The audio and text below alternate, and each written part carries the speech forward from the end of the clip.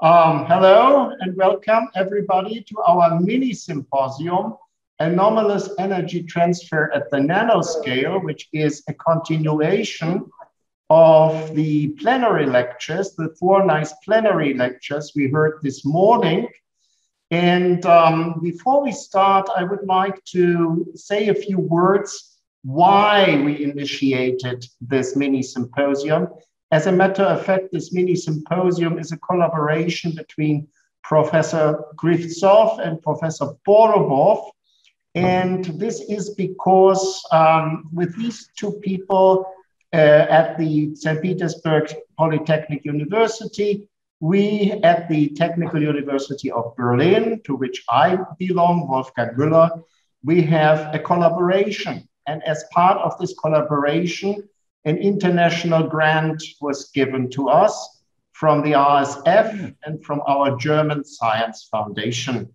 So I would like to uh, acknowledge our support and thank very much for the opportunity to make it possible that today we are going to present some results from this joint research here at the mini symposium. We have several speakers and without further ado, I would like to uh, ask to the podium um, Kovaleva, Margarita Kovaleva. It is a joint paper with Shagin Yan Shagen and Manevitch and Leonid Manevitch. The title of their presentation is Energy Transport and Nonlinear Waves in Nonlinear Discrete Chains they come from Moscow, from the NN Semyonov Federal Research Center of Chemical Physics, and from the Russian Academy of Sciences. Please begin with your lecture.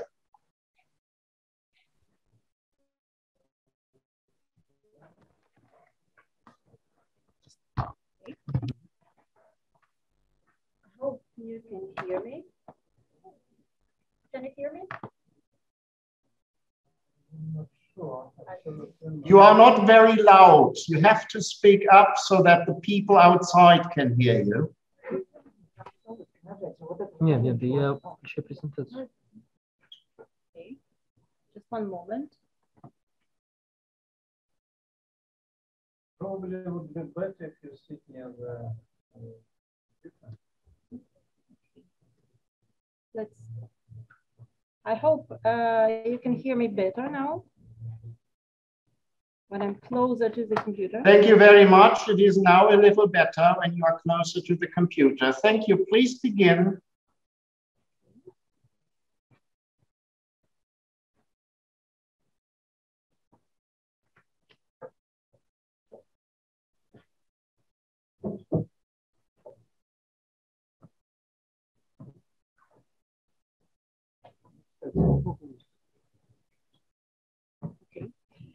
So uh, today, today I would like to tell. Uh, today I would like to uh, tell uh, about uh, the work that is the results of work of uh, of different stages, and there were different collaborators in this work. So I have to say that. Um, uh, the colleagues uh, who are listed, uh, the co-authors, so the list is not exactly um, as you mentioned. However, I will mention which work was done in collaboration with different researchers. And uh, today I will talk about the energy transport and nonlinear waves. So however, I will talk mostly about the regular energy transport, which means that I will not talk, about the stochasticity, for example.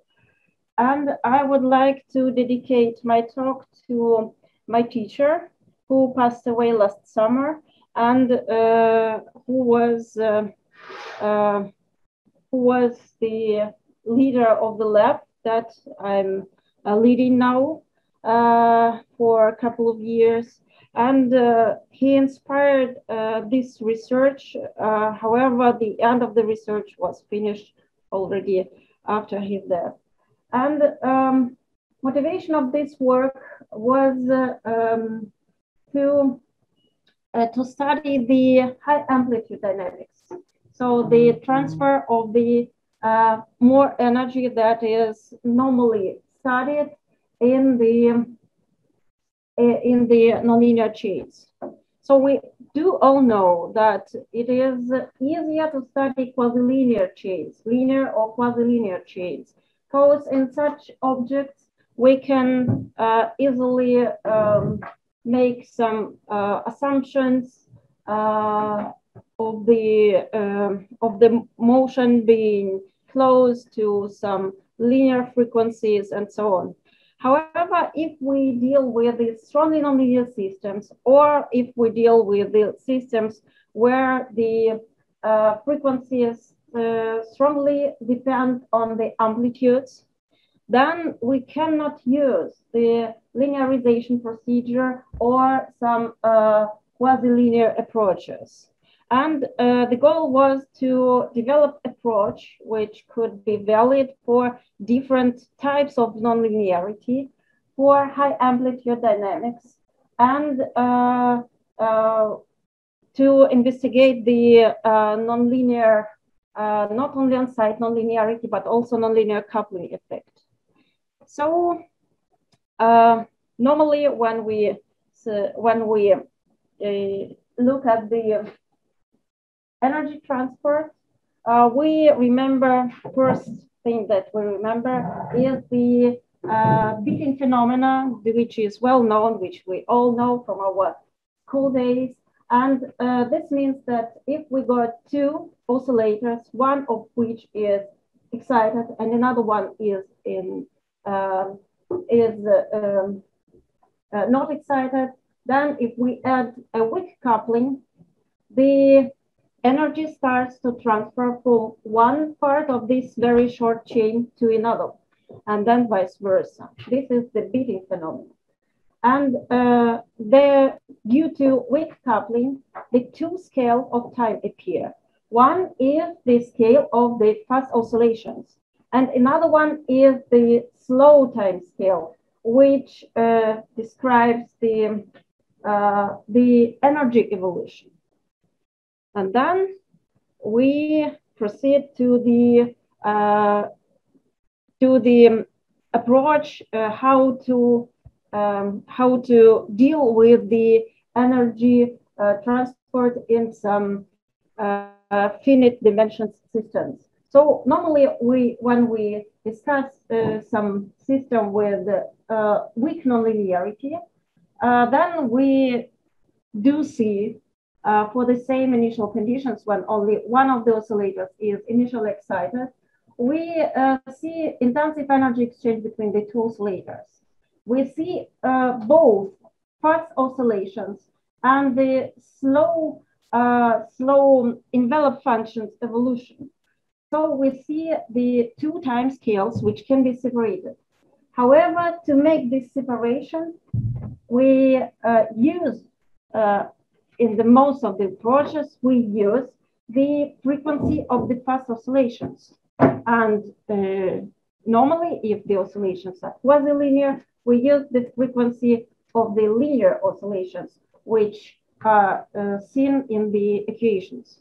However, as we all know, so uh, then we can separate this, uh, these two types of motion and the slow evolution of the envelope function will tell us what happens with the energy. However, as we all know, in the strongly nonlinear systems, the, um, the frequency of the linear oscillations can be significantly different from the frequency of the nonlinear oscillations. There are also systems where no linear frequency exists.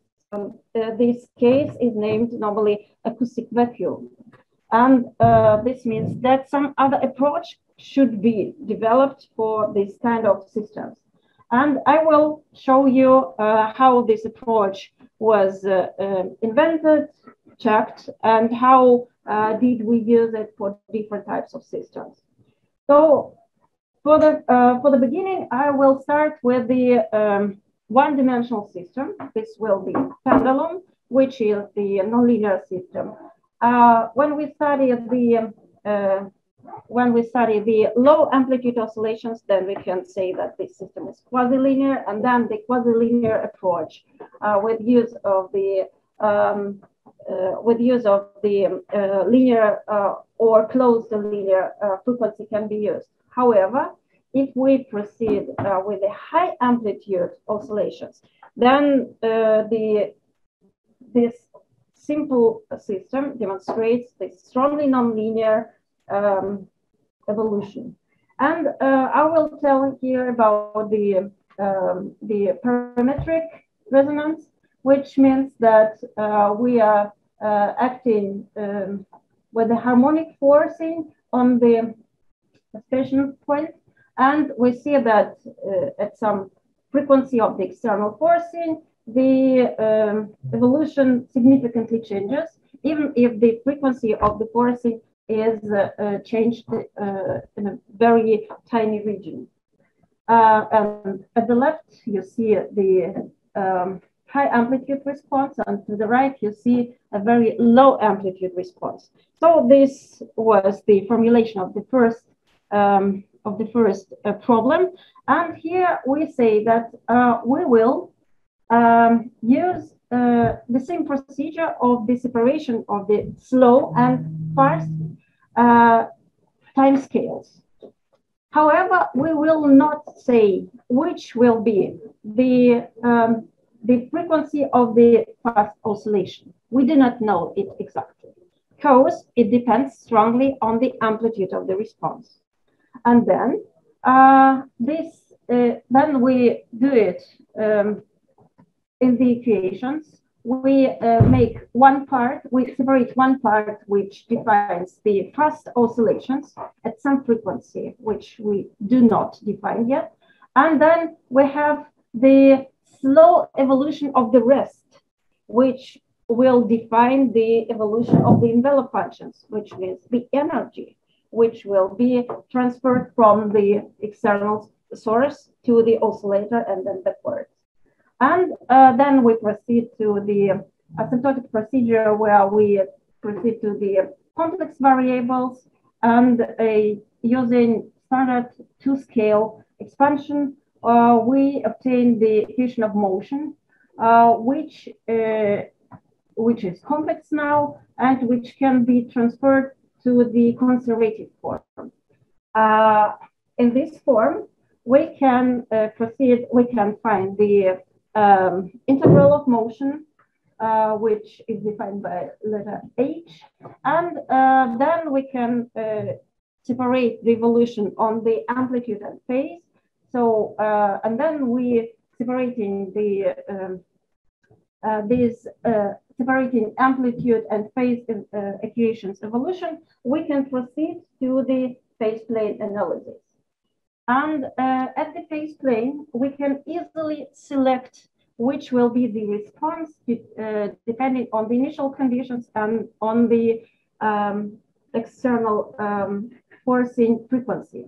And here we can say that uh, depending on the, uh, here S is defines the detuning uh, of the external forcing uh, to the linear frequency of the pendulum.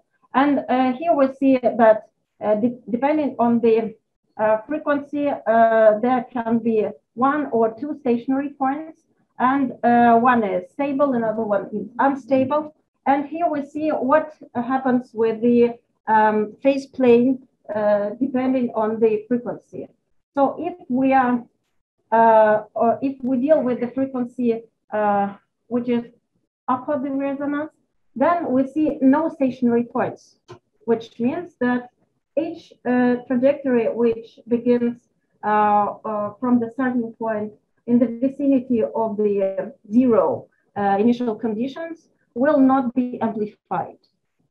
Then uh, when one stationary point appears, it will be um, settled, uh, uh sorry, it will be center. Then uh, there, uh, there appear uh, these trajectories which start from the vicinity of the zero initial condition and then make amplification. these trajectories provide periodic uh, motion, and uh, this will be the parametric resonance. And then uh, one more stationary point appears when we go along the frequency range to the lower frequencies.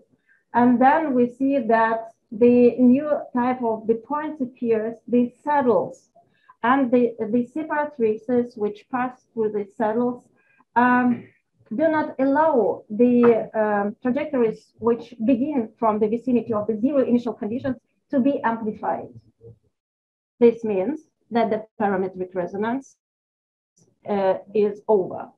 So uh, here I deal with the trajectory, which starts from the zero initial condition, and it shows me if the resonance or the amplification will appear or not. This trajectory is named limiting phase trajectory because uh, if we only deal with this trajectory, we can completely describe the evolution of the resonance and the amplitude of the uh, resonating trajectory. So uh, we have found the instability region in our asymptotics and uh, compared it with the uh, exact solution of the instability region uh, given by the um, Mathieu equation. And here we see also uh, obtained by an, our analysis, analytically obtained the form of the limiting phase trajectory for different uh, for different frequencies of the uh, parametric forcing. And here we see that the amplitude of the limiting phase trajectory uh, defines the amplitude of the response. So, uh, and here uh, I give the comparison of the analytic solution, which can be obtained by the limiting phase trajectory, and the full solution, which is given by the dark red. Uh, and uh, here we see that um, the time of the entrance into the resonance is not is not captured. However, however, uh, the form of the resonance, the amplitude is exactly uh, captured by the model. And then we see that the quadrilinear model that is uh, is uh, that is very often used to study such kind of system uh, fails to predict the evolution of the system. Uh, it just goes to the infinity. So this was the easiest example of our procedure. And now we will increase the number of the um, degrees of freedom. Now we have two pendula which are coupled uh, uh, with the nonlinear coupling. So we have only uh, not only a nonlinear uh, on-site potential, but we have also significantly nonlinear coupling uh, potential. And uh, using the same method, which we call the semi-inverse method, this means that we first define the first suppose some um, frequency of the resonance, and then only after uh, the asymptotic procedure is applied, define this frequency. Uh, using this procedure, we obtain the equation of motion, which looks a bit more complicated that, than the one uh, in the quadrilinear case. Uh, uh J1 uh, are the Bessel functions of the first kind. And using, and also we obtain the new integral of motion, which is the norm, or um, in the quantum mechanics, defined very often as the um, uh, occupation number. And uh, this new integral of motion helps us to define the evolution of the system. Here are the details of the asymptotic procedure, uh, but I will not uh, go into details right now. And um, this allows us uh, first to, uh, to define the amplitudes of the nonlinear normal modes depending on the amplitude of the excitation. And we see that uh, the inversion of the modes appears when the amplitude grows. So uh, the when the amplitudes are uh, low, the in-phase mode uh, has lower frequency than the outer phase mode, which is a quite normal case. And if the amplitude of the excitation grows, then the, um, the the frequency of the in-phase mode becomes higher than the frequency of the antiphase mode. And here we see also the comparison with the numerical data, the exact numerical data obtained uh, uh, obtained for initial system and the asymptotic uh, analytical um, values obtained in our analysis. As we see, the results are quite good up to oscillations uh, around uh, um, 9 tenths of pi, which means that uh, this is these are almost rotations. I will mention that we do not consider rotations in this research, but this kind of approach can be uh, proceed to the, to the rotations. However, in my talk, I will deal only with the oscillations in nonlinear systems. Then uh, we can, using the new integral of motion, we can uh, introduce new variables, and these will be um, uh, amplitude, uh, uh, amplitude variable and phase variable. And this allows us to reduce the uh, number of degrees of um, freedom and to consider the system on the phase plane. Here you see the results of the um, of the uh, analysis. I'm sorry, what happens? Uh, these are Poincare maps, and here you see exactly the non-normal modes, and the uh, you see that uh, the uh, evolution around the modes is absolutely possible, and uh, starting with the energy on one oscillator, one can proceed to the another one. I will show you exactly how it looks at the phase plane. So if uh, there is the phase plane, some letters are not shown. I'm sorry. Uh, the horizontal axis shows the delta, the phase shift between the two oscillators, while the vertical um, axis shows theta, which is the relation between the excitations of the two oscillators. When theta is equal to zero, oh, I'm sorry, uh, when theta is equal to zero, all the energy is concentrated on one of the oscillators, or, or on one of the pendula. When theta is equal to pi divided by two, all the energy is concentrated on the another one. And here you see the limiting phase trajectory, the red dashed line, which shows the maximum energy exchange between the two oscillators or the beatings. And you see that this, uh, this trajectory um, can, uh, uh, can uh, be changed during the evolution of the phase plane. If we increase the, if we decrease the coupling or increase the energy in the system, first of all, the bifurcation of the nonlinear normal mode appears. However, this does not affect the energy transfer between the two parts of the system.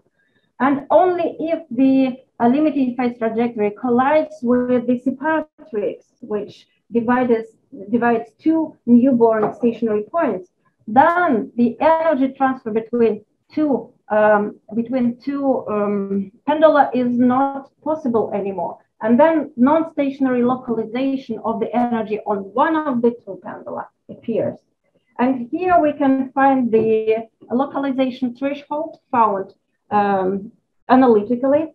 And uh, we have compared it uh, with the uh, results of the Poincare sections um, analysis. And here you see that when the, um, the coupling parameter is above the threshold, uh, the limiting phase trajectory, which is red dashed line here, uh, is uh, uh connects the uh, two um, energy states. And on the Poincare map, below the threshold, we see the separation of the phase um, area, which means that energy is localized on one of the um, parts of the phase space. So uh, then we proceed to the system with the more degrees of freedom. There is a system of three oscillators. However, first I have to say that this system has a bit more problems than the system of the two oscillators. Uh, if you look at the standard multiple scale procedure, where we again separate the fast and slow dynamics, uh, we see that the uh, middle uh, oscillator is uh, not equivalent to the side oscillators because it has two um, connections with the neighbors and not one. And this means that this asymmetry will, uh, will cause some problems. And this uh, asymmetry uh, was studied, so the role of the nonlinearity of such asymmetry was studied in our uh, in, um, in some works uh, made by me and my colleagues. And uh, we have found that if the nonlinearity is of the soft type, then uh, not only localization of the energy on one of the oscillators is uh, possible, but also intensive energy exchange between the two sides of the of the uh, short chain.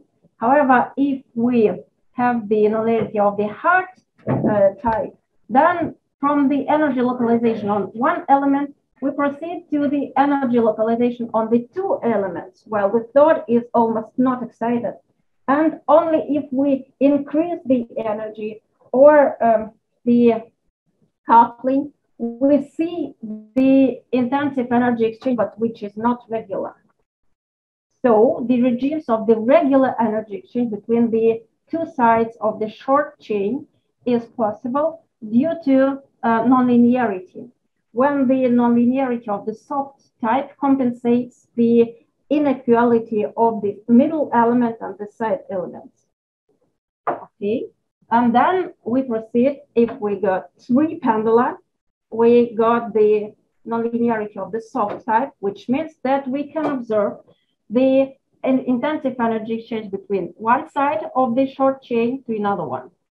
Here uh, we have also the, uh, the significantly nonlinear coupling and here we proceed again with the semi-inverse procedure, uh, separate slow and fast dynamics, and obtain the uh, a bit more uh, complicated system of equations. However, we got again the new integral of motion, which allows us to reduce uh, number of degrees of freedom of the system. And then we proceed first to the. We have five more minutes. Um, I see. Thank you. So, and then uh, here we again compare the nonlinear normal modes of the system and again have good results. And here we show that the uh, localization threshold has nothing to do with the nonlinear normal mode stability. And this means that this should be something else.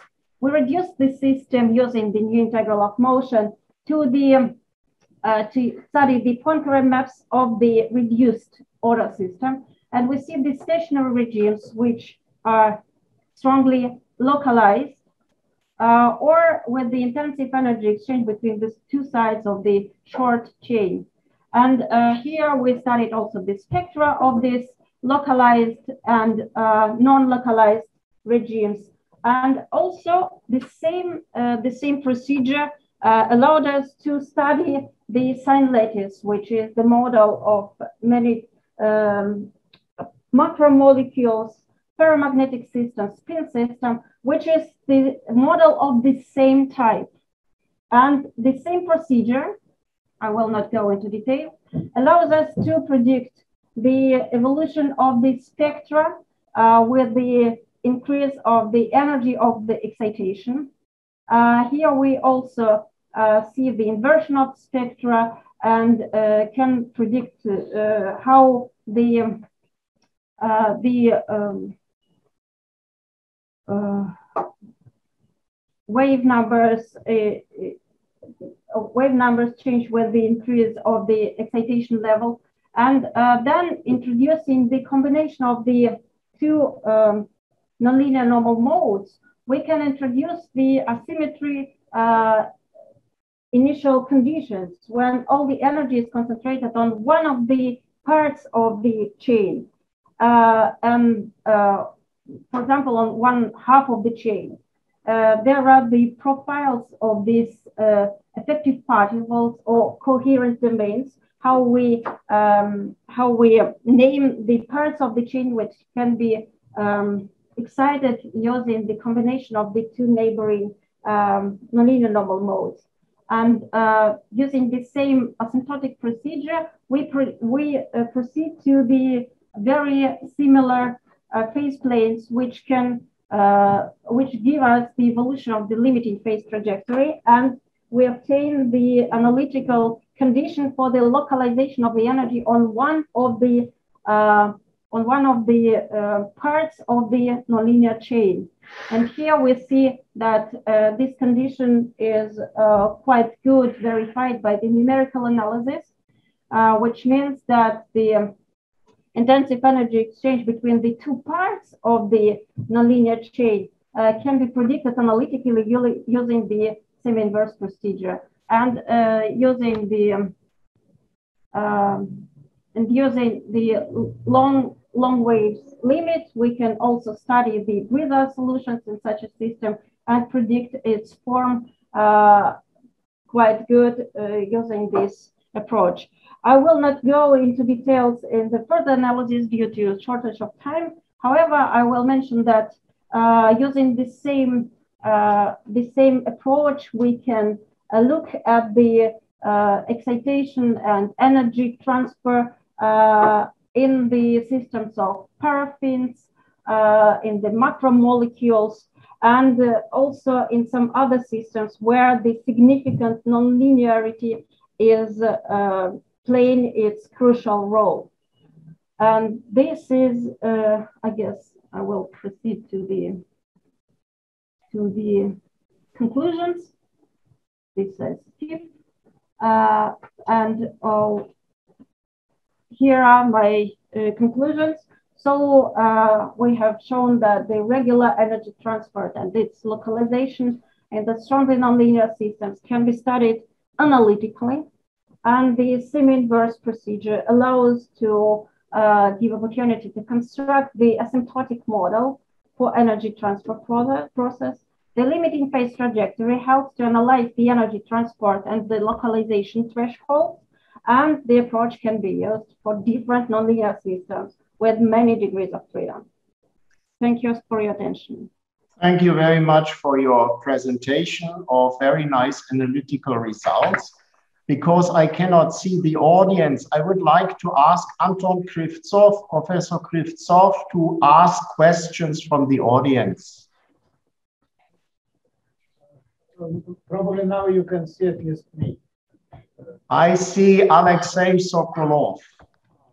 Oh, now I see you. Yes. Other questions from the audience? Okay. yes, colleagues, any questions?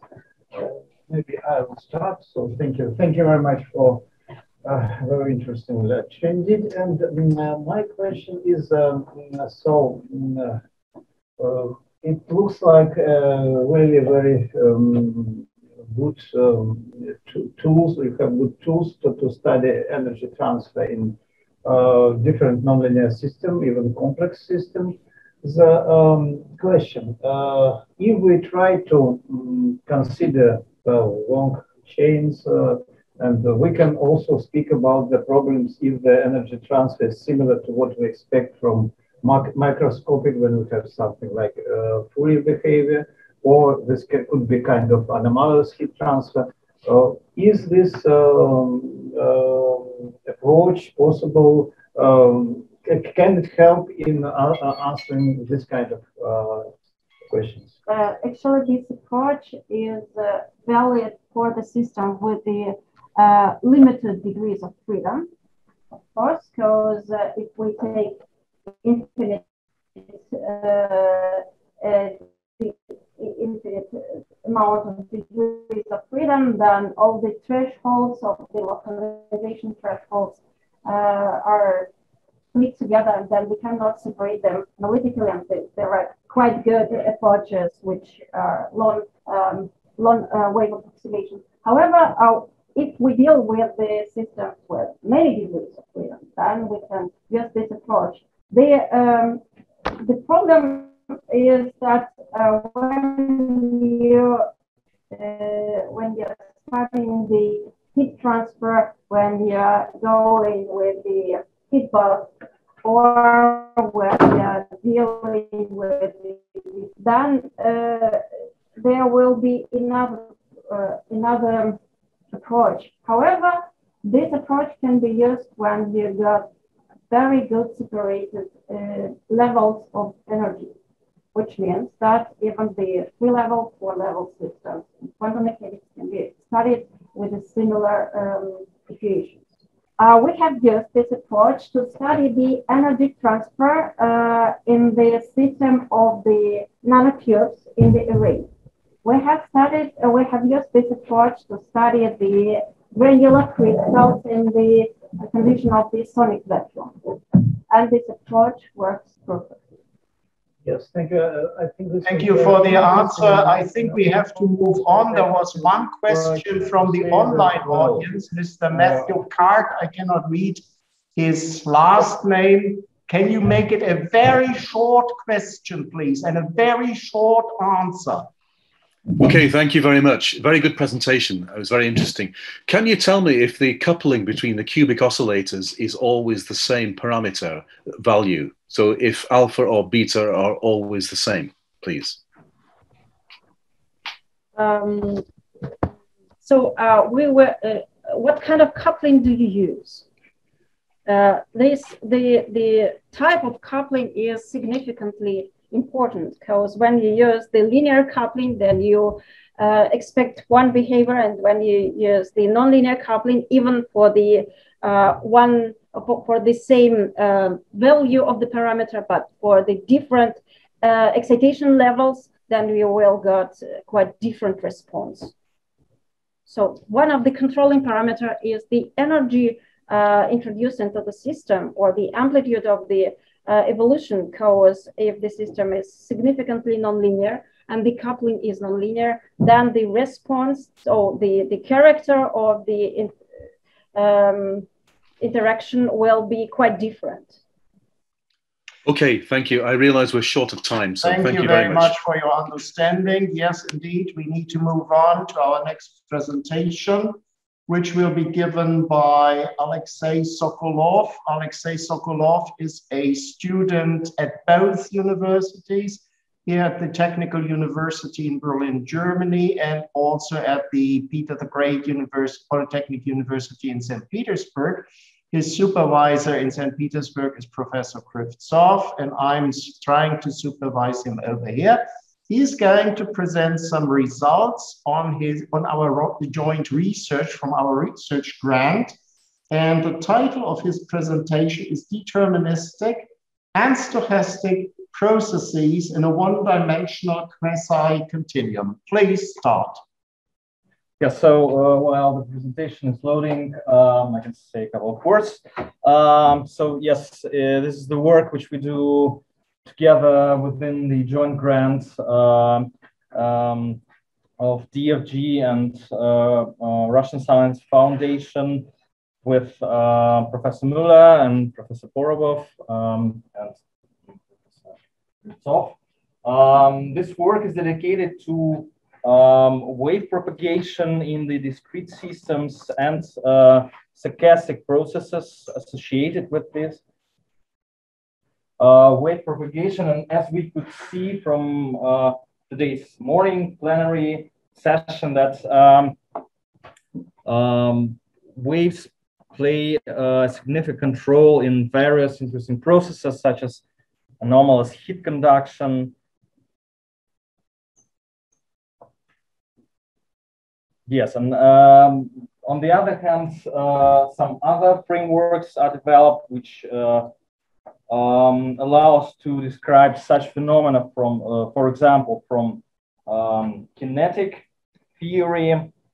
But in this work, we are going to investigate how the waves propagate in the discrete systems. I hope the presentation will finally work.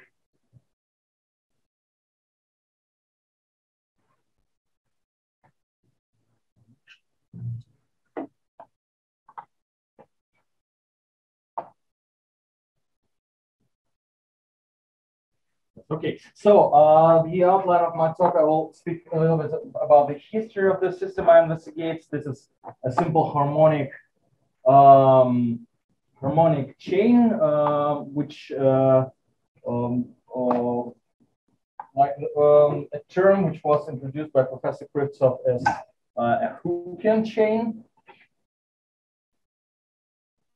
Um, then I will speak about the dynamic, uh, the equations which uh, describe the motion in the system. Then I will say, uh, move on to the concept of quasi-continuum, which allows to describe processes in this discrete system within the framework of uh, continuum equations, which uh, may be very helpful from mathematical point of view.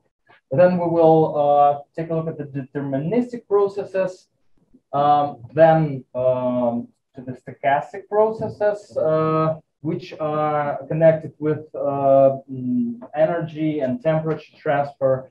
Um, and uh, then we will uh, come to a ballistic heat equation, uh, which is a consequence of uh, aforementioned topics.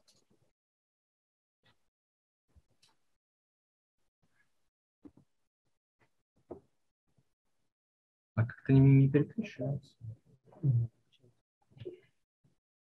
Okay, so the first, um, uh, one of the first works considering the system was made by Hamilton in uh, 1839, uh, where he derived uh, first the uh, actually relation which described motion in such system, but these relations are expressed in rather cumbersome um, mathematical formulas which were uh, so far not so good developed. For example, Bessel function was uh, introduced uh, around this time, so Hamilton did not express it in terms of Bessel function.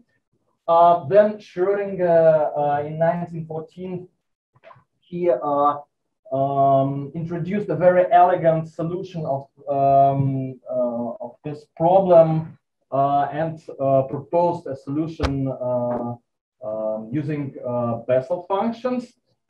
Uh, these works are dedicated to deterministic processes. Um, then later, uh, Klein uh, and um, Nobel laureate Ilya Prigozhin considered uh, stochastic problems in the system and derived equations which describe equilibration of energies and um, energy transport um, in such system, which later recently were um, uh, also discovered using uh, covariance analysis and called slow and fast motions. Then a little bit later, Hanna did, um, I think in parallel, uh, similar, uh, he obtained similar results, uh, but as well, he considered several very, very illustrative problems. Uh, actually, his goal was to obtain Fourier law from a linear harmonic chain, and he uh, failed in the case. Um, the next topic which uh, I will um, uh, consider is uh, quasi-continuum, um, and uh, the main works for actually this concept was introduced by Isaac Kunin, and uh, a very good overview is presented in the book of uh, Leonid Slepyan um, in the beginning. So this is uh, a very good overview. So let us move on to the system. This is a simple um, chain with uh, equal masses, which are connected with equal stiffnesses C. And the uh, it, its motion is governed by equation of motion. Um, very well known with uh, some arbitrary initial conditions. Then uh, the solution may be obtained uh, um, in several ways. So Schrödinger proposed a very elegant solution by change of coordinates and then uh, an ingenious uh, um, substitution of cylindrical function. It may be obtained differently. So we can find, we can consider a finite system of n particles, then finds its solution uh, as a superposition of um, um, normal modes, and then uh, we find the thermodynamic limit and um, obtain uh, the solution which coincides with what was proposed by Schrödinger. What is interesting in uh, this equation is that if we have, for example, only displacements, then uh, our displacement field is obtained uh, as a superposition of Bessel functions of even order. But if we um, consider velocity field with some arbitrary initial velocities at zero displacement, then we take a derivative and then we see that it will be uh, indeed also this uh, in similar way described uh, as a superposition with Bessel functions of even order. So uh, it, there is no difference either we uh, consider the problem of displacements with some initial displacements or, or velocities with some initial velocity. Then um, let us uh, take a look at the uh, concept of quasi-continuum. So uh, concept of quasi-continuum uh, is the idea to build a one-to-one -one correspondence between the functions which are defined on the um, integer node, in, integer position of particles, and some continuum function. And um, in the book of Isaac Kunin, it was found that this one-to-one -one correspondence is governed by uh, such equation. And uh, one can um, uh, see this transformation as follows. So if we take a look at the obtained um, function at the Fourier transform of the obtained function, it will be um, some Fourier image which is bounded, um, uh, which is bounded uh, at uh, local S region. So we can build this function as follows. So we can, for example, um, um, draw any line uh, which coincides uh, with our discrete function at uh, the position of particles, then find its Fourier image, and then just cut out the uh, higher oscillations which are mm, unphysical for such system. So uh, if we uh, then uh, take the uh, uh, aforementioned solution for this discrete system, uh, which describes the motion in this system, we can build the corresponding quasi-continuum representation, and then using this formula, um, it is seen that it satisfies the differential delay equation. So, or it is called differential shift equation. Um, what is interesting here is because uh, when, uh, for example, the wave motion, uh, uh wave equation is derived from harmonic crystal, such equation is also written, but uh, this x is defined only in the position of particles. Here, uh, this equation is valid for all the values of continuum coordinate x, and um, from this solution also it satisfies our usual uh, initial conditions for displacements and velocity. So let us take a look at uh, uh, the processes which uh, are described by this equation. So here you see a numerical solution of the above mentioned equation. And it's um, interesting that uh, in the discretization scheme, the um, uh, mesh, uh, the step of mesh is finer than um, interatomic um, distance. So uh, the step of mesh is uh, smaller than this parameter A. Uh, this leads to this interesting behavior. So we see that at small times, this process coincides with classical wave equation, which is um, um, presented uh, in a red line. And then some interesting phenomena occurs. And in particular, we see that this uh, initial profile start to break down. Uh, then it starts to dissociate, to smear in uh, space. And also it uh, starts to lag from uh, usual position of CT, where C is the speed of sound. Um, then um, we can investigate this profile using method of stationary phase. Um, so the usual expression, which is obtained by method of stationary phase, is rather um, scary and um, helpless. So we can find asymptotics near the wavefront. And um, uh, to find some interesting asymptotics, uh, in particular that the front decays. so in, in, this conservative system, actually the front of initial impulse start to decay as this power law, then these um, front will lag according also to power law in time and its velocity will also change um, according to this asymptotic. So uh, conclusions for this part is that uh, we obtained uh, a continuum equation describing wave propagation in uh, harmonic crystal. Actually, it was derived earlier in the book of Kunin and Slepyan, uh, but in more general form. And uh, this particular case was, for some reason, not presented, probably because it was considered too simple. Um, then we, we considered asymptotics of the wavefront and we developed a numerical scheme for this situation. Then we move on to stochastic processes. Seven uh, minutes left, including discussion. Yes, thank you. Um, we use Hamiltonian stochastic dynamics. That means that we use the uh, same solution with uh, stochastic initial conditions. Um, and we uh, uh, come to the following equation for um, average uh, kinetic energies.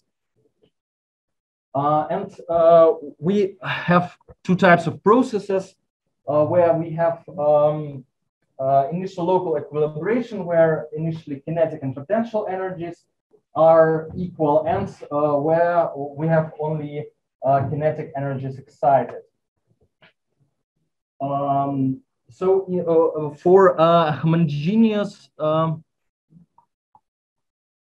for homogeneous fields, at least to the fo uh, following results. So for non-equilibrated fields, we will have some, uh, uh, we'll have the process of equilibration, which uh, was called in earlier works as a fast process. and for quasi-equilibrated fields, it will remain the same.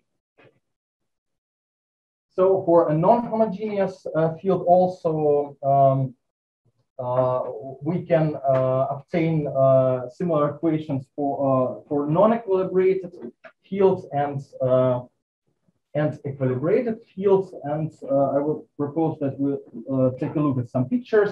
So we see that if only the kinetic degrees of freedom are excited, we have the process of um, uh, energy transfer and the process of equilibration. And in the case of uh, uh, initially equilibrated system, we have only the process of energy transfer.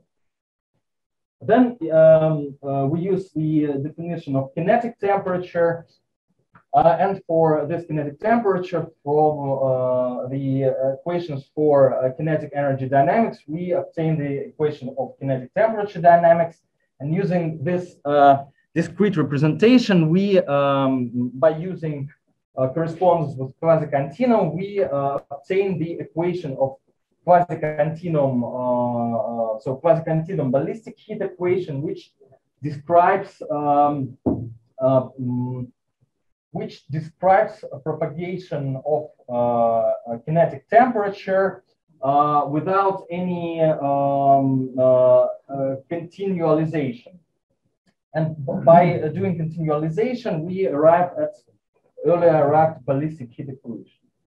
So um, um, in this section, we uh, derive ballistic heat equation on the basis of fundamental solution of Greek problem, uh, derived uh, a non-local quasi-continuum ballistic equation, uh, which uh, do not use any long wave approximation. Um, and uh, these equations are derived from initially quasi-equilibrated system, which differs from the previous approach where it was derived from um, a system where only kinetic energies were excited. So thank you very much. Thank you very much for your presentation. We have three minutes for discussions. Other questions from St. Petersburg? Uh,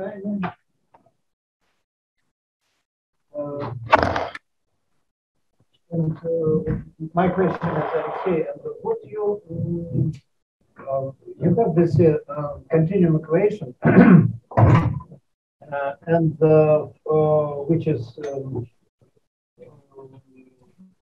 generalization of the discrete equation for Boltzmann particles. And the question is uh, how you will um, um, how will you set the initial conditions between the nodes? Nodes. Uh, so the procedure is the following: you set the initial conditions for discrete system, and then you uh, build uh, using one-to-one correspondence between discrete system and quasi-continuum. You uh, build quasi-continuum. Uh, so you mean even for initial conditions, you can have this uh, one-to-one correspondence? Yes, of course. For, for any discrete function and your initial condition. So this is indeed a very big question because first I wanted to build this quasi-continuum fields and did not know how to what to do between the nodes. And then I just thought that I have the initial conditions, uh, the stochastic initial, conditions, because the problem is to do the stochastic initial conditions between the nodes because it should be uh, a continuum. Okay, maybe uh, maybe any questions from uh, we, we have a question here from the online people. There's one question by Alexander Morozov. Yeah, hello. Uh, oh, you can hear me. That's great. I, I have a question regarding your um, uh, mm, non-equilibrated and quasi-equilibrated boundary conditions. And uh, that was done for the wave equation. Could you please comment on uh, what uh, should it be and how to physically interpret them in terms of temperature? Um, actually, uh, it was done not for the wave equation, but for uh, for uh, dynamics of uh, kinetic energy. So, uh, so here uh, um, in the equation of dynamics of kinetic energy, you can have initially some velocities and some deformations. And uh, so if you have only velocities and zero deformations, then you have a non-equilibrated system because then uh, when you start the process, the energy will uh, flow from kinetic to potential degrees of freedom. But you can initially uh, set them equalized so they do not need to, um, to equalize because they will be equalized. Oh, okay, and uh, second question, maybe I have asked you already on some previous conferences, but I have forgotten. Uh, on, on your ballistic equation, of, of, course, there is a term where you have a t dot over t, and this is some uh, um, nice limit with, uh, is there any limitation on your initial conditions then? Yes, um, uh, yes, it's a good question because uh, this equation will work actually it arises only with initial conditions when you have a zero um, uh, zero t dots at the beginning. Okay, thanks. So uh, then this, this term vanishes. Also, it, it, it can be seen from an integral representation of uh, solution of this equation, but uh, I did not mention it. Thank you very much again for your presentation. We now move on to our next speaker, I would like to announce Sergei Liazhkov. The title of his presentation is Discrete and Continuum Approaches to Description of Heat Transport in a Semi-Infinite Free-End Hooke's Chain. He comes from the Russian Federation from St. Petersburg.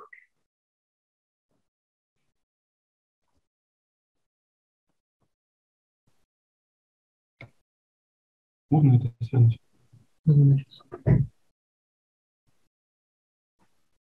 Самый... Я хочу. И напомню. И напомню. Сейчас.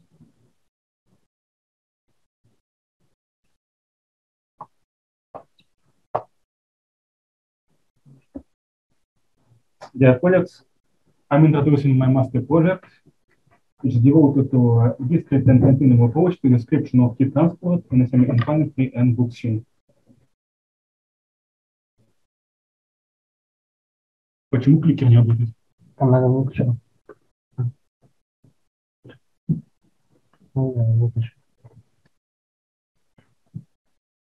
Okay, according to the modern experimental observations, uh, heat transport at micro and nanoscale propagates ballistically, about which the dependence of thermal conductivity on material size uh, says. Therefore, we need uh, a full-fledged uh, analytical theory predicting ballistic heat propagation. Moreover, in order to, with accuracy model experiment, um, we need to take in account boundary effects of material. Following this purpose, I solve two simplest problems first is heat transport in a semi-infinite Hooke chain caused by instantaneous heat pulse.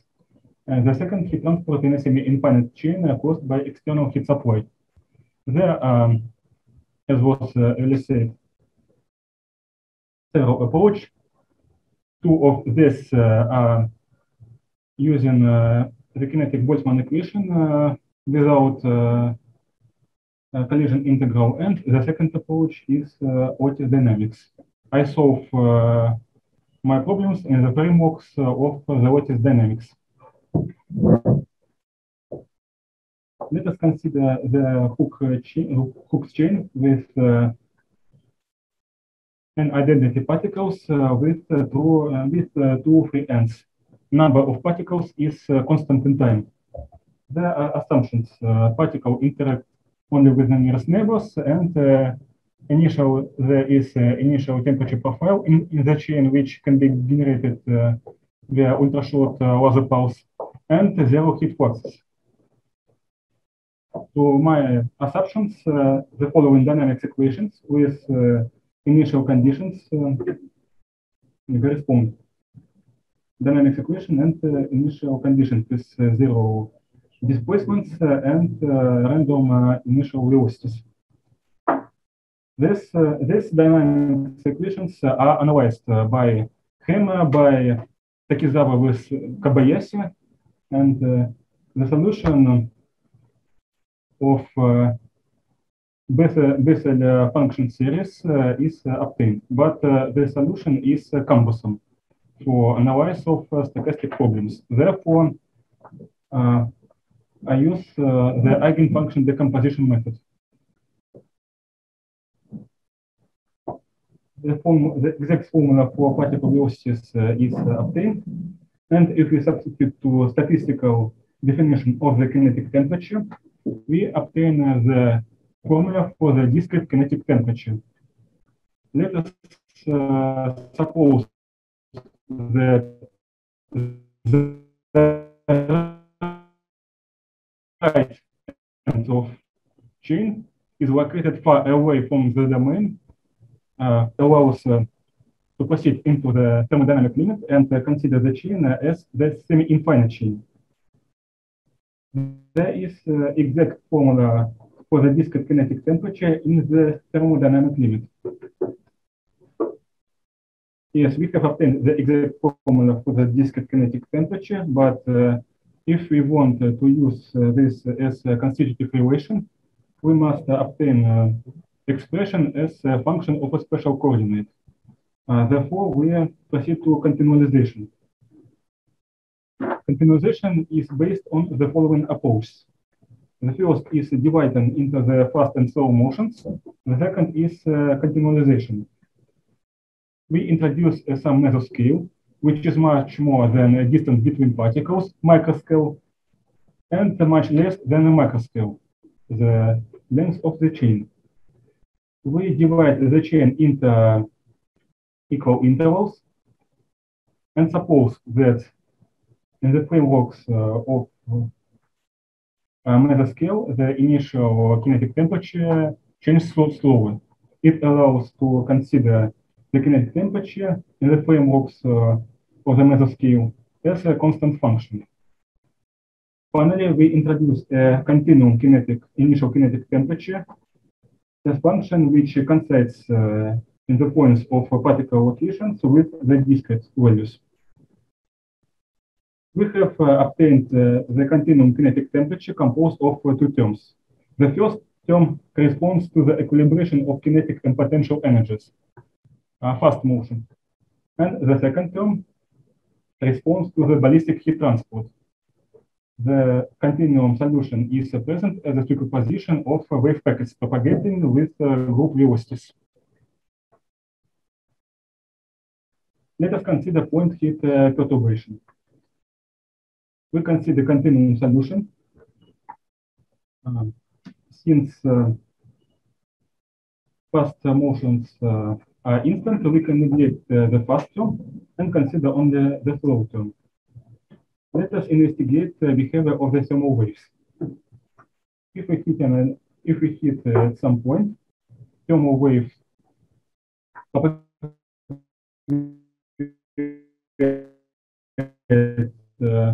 in both waves, one wave reflects from thermal waves uh, propagate backwards. If we consider the infinite chain with mirror sources, the solution for continuum solution for the kinetic temperature will be the same. Let us formulate a principle of symmetry of continuum solution. Continuum solution for the kinetic temperature uh, for the semi-infinite chain with the free end and some source coincides with the continuum solution for the infinite chain with the same and the mirror sources. Let us consider rectangular heat pulse uh, out of the boundary.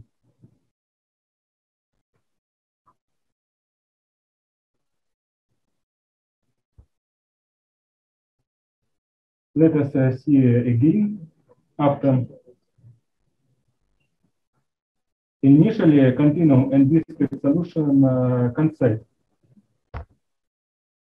But after achieving the end by thermal width, there is a jump. The discrete uh, kinetic temperature undergoes a jump near the boundary.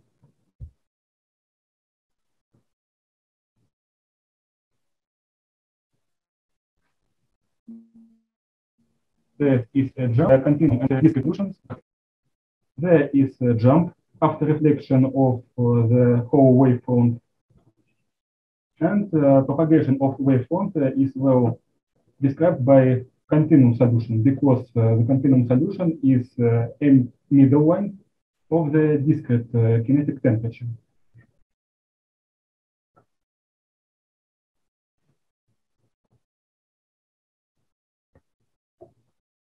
This is uh, evolution of the temperature on the boundary, which uh, in which continuum and discrete solution have uh, different asymptotic behaviors. There are results and my uh, preparing preprint. Let us consider the second problem, heat transport caused by external heat supply. This is uh, dynamics equation uh, there are one given equation. Object of study is uh, the same, but the chain uh, is surrounded by a weakly viscous environment. And there are zero initial conditions, but the dynamics equations have a right path which corresponds to the uncorrelated Wiener processes. The discrete kinetic temperature is obtained as follows. We seek uh, the discrete kinetic temperature in this form and uh, seek the covariance matrix uh, based on the exact exact solution for the image of displacements and velocities for particles through the Ito lemma. And if we know the covariance matrix, we we will know the exact solution for the discrete kinetic temperature there is uh, there is a formula for the discrete uh, kinetic temperature, which uh, is present as a convolution of the velocity of heating and the Fonneman function. But uh, this uh, expression is uh, cumbersome for continualization. Therefore, the principle of symmetry of continuum solution helped us. The continuum the kinetic temperature in the continuum limit uh, is um, represented as a convolution of the continuum function of the heating velocity and the fundamental solution obtained by Gavrilov. Let us consider sudden point heat supply without dissipation. Far fields uh, uh, continuum in this solution uh, but after reflection, continuum solution uh, describes uh, evolution of kinetic temperature with error.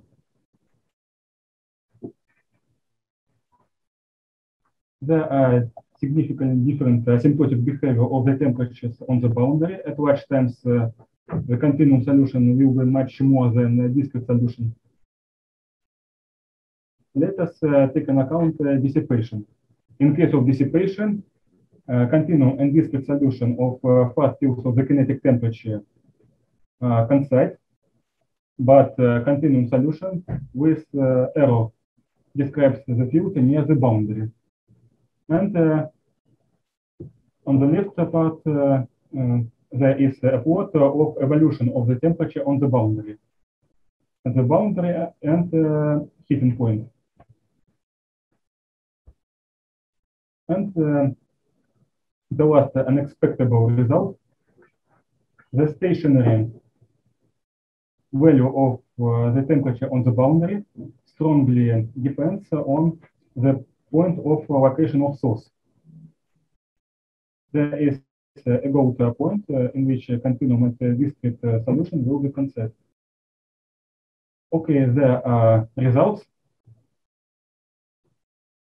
As a future work, uh, the following problem can be proposed. This is a clarification of a continuum solution by stitching of the far field continuum solution with the discrete kinetic temperature near the boundary. And clarified uh, continuum solution can be further used, used as a constitutive relation. Uh, thank you very much.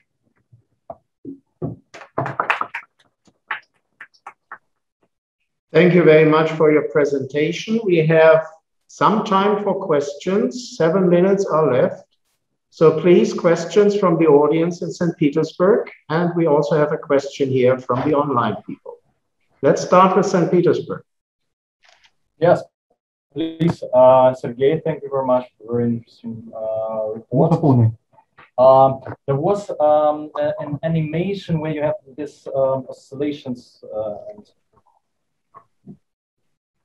where you compare uh, an analytical solution with yeah. uh,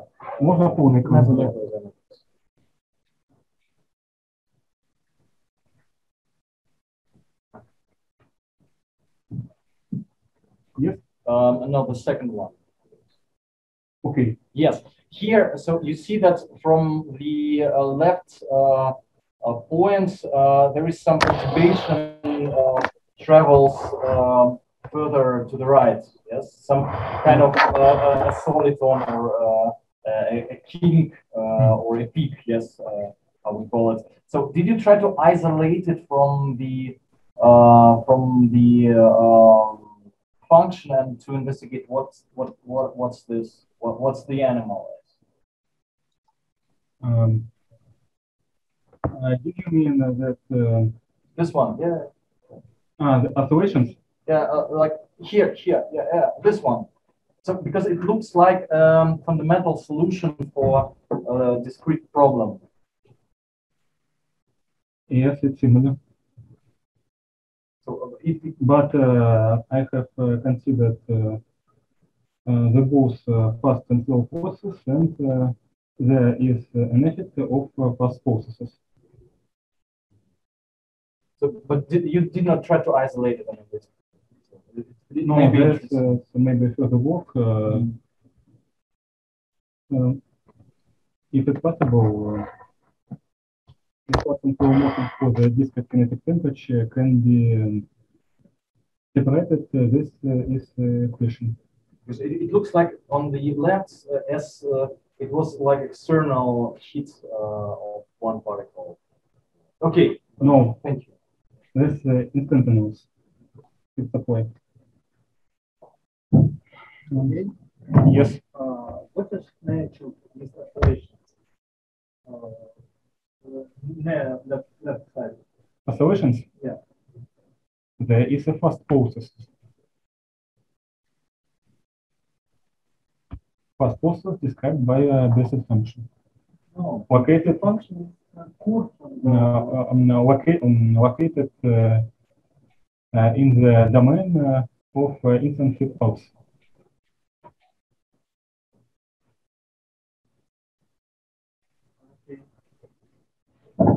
So any questions from the... Yes, we have a question from Matthew Cartmill now.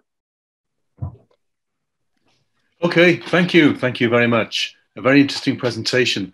I have one short question. Um, I think it was slide 24. You mentioned the term thermodynamic um, limit. Um, yeah, here.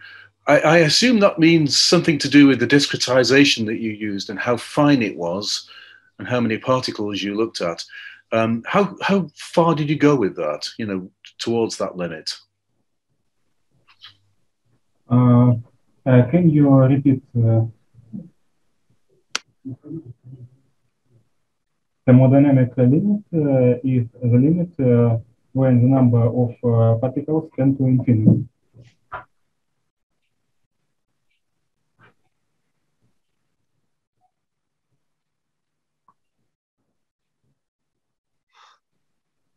Is this answer have okay? I, have I answered? Sorry, okay, okay. Uh, let's leave it there. Obviously, time is short. Thank you. Uh, we, we still have three minutes, so if Okay, if you're if you're if you're able to let me speak a bit longer, uh, I was interested in what happens when you start to approach this uh, difficult point. You know, um, your analysis is obviously taking the system when it's pretty well below that. Obviously, um, what happens as you approach that? Is is this something you've looked at, or did you not need to look at that?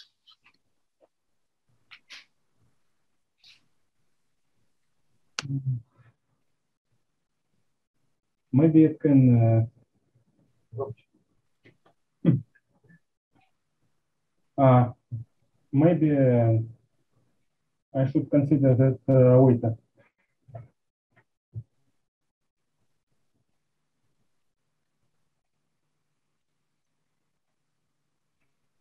This uh, expressions are obtained in the thermodynamic limit and uh, so the expressions uh, which uh, are early obtained uh, and we end with two in the chain with two free ends, but I didn't write in the presentation. Okay, okay.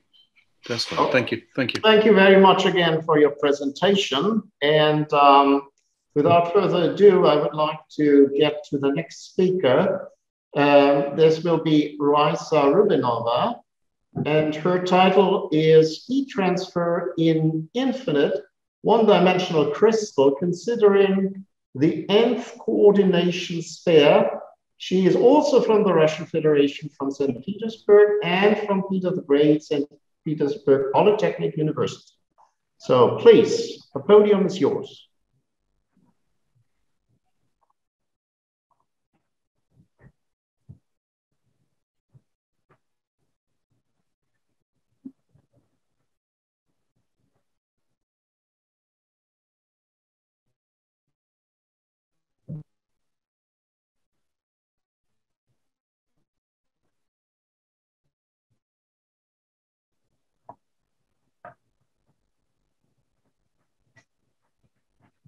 Well, good afternoon, everyone. My name is Raisa Rubinova, and as mentioned, I'm going to give a short speech on my master project, which is heat transfer in infinite one-dimensional crystal considering the nth coordination sphere. So in my uh, research, several models were considered, and they're based on Born von Karman approach, where we assume that the interactions are quasi-elastic, so we can um, our crystal as a chain that of particles that are connected by linear springs. And uh, there were done some research recently, uh, not only considering the nearest interactions, but also the second coordination sphere. And uh, the aim of my uh, research was to continue this investigation Therefore, there were two models considered. The first one is crystal considering the third coordination sphere, the one depicted on the slide, where the interactions with basically six nearest neighbors are considered. And there were three variables three stiffnesses for each coordination here. And the second model was the model considering the of the neighbor with which we consider the interaction. And we write the number of interactions considered from the first coordination sphere to basically the infinity. And our goal was to describe how the heat wave propagation will be affected by the introduction of these additional uh, interactions.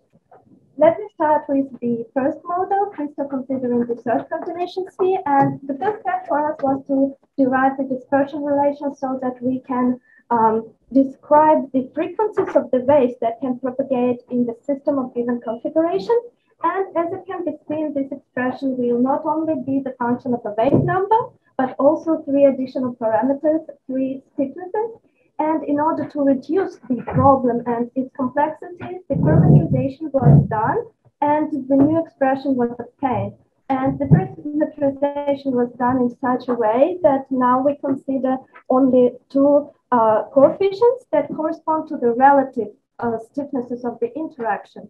And we have parameter beta, which describes the shift from the first coordination sphere to the second, and parameter gamma, which defines uh, forces uh, of interaction with the third coordination sphere.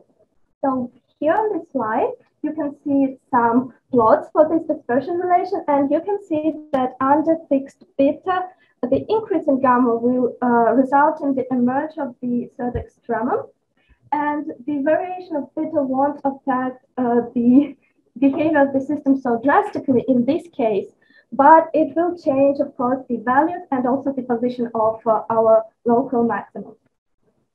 After that, the group velocities were obtained and they allowed us to uh, find how many waves will propagate in the crystal and what will be the velocities of these drones.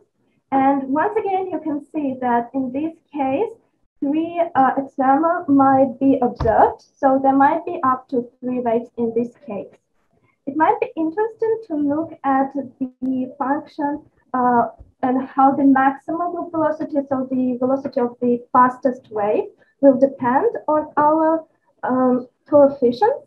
And here we see uh, the possible configurations of the system, the possible modified stiffnesses.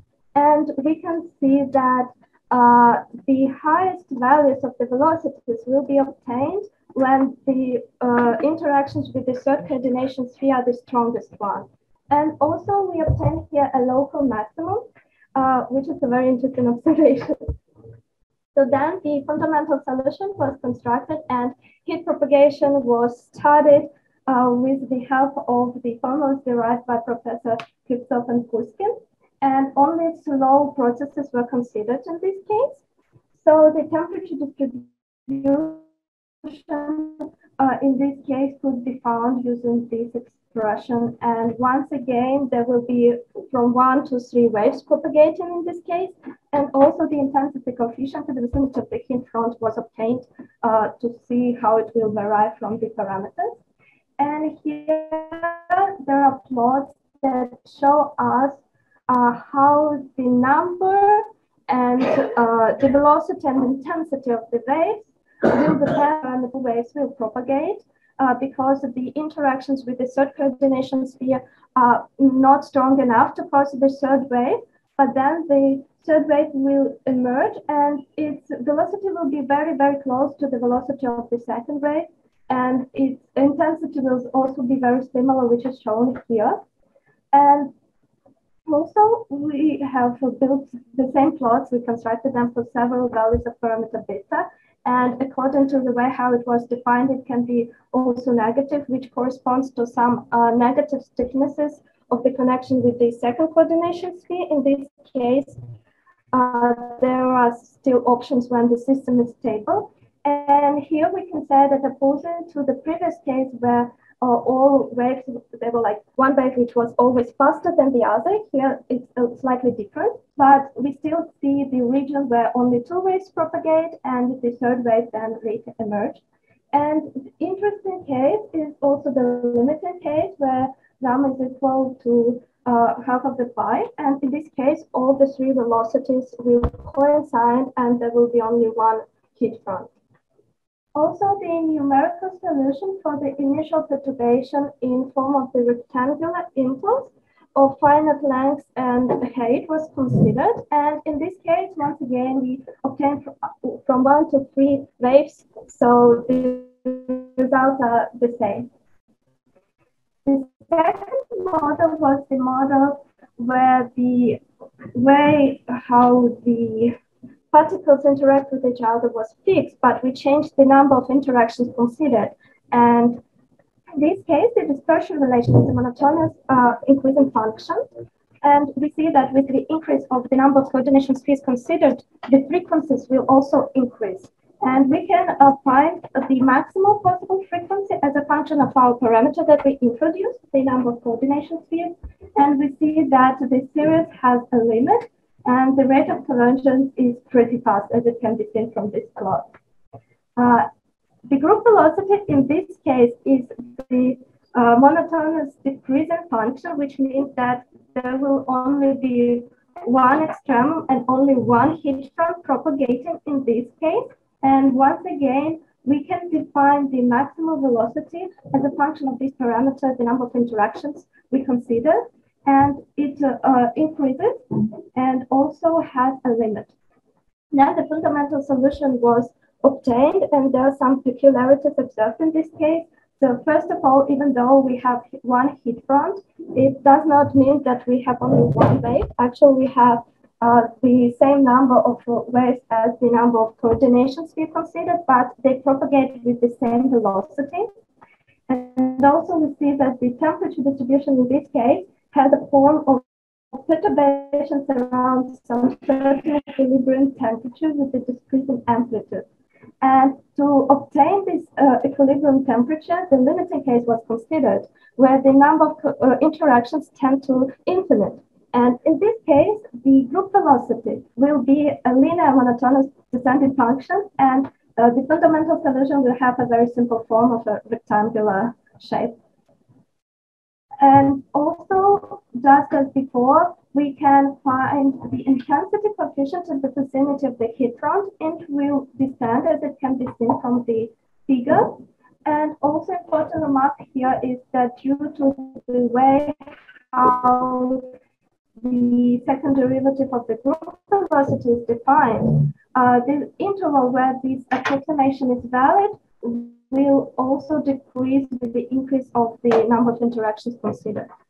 Finally, the numerical solution for another initial perturbation was obtained here.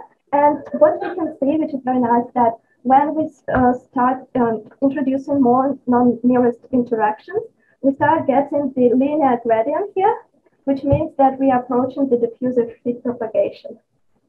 So let me summarize what I have just told. In the crystal, considering the third coordination sphere, we can uh, obtain from one to three uh, heat waves.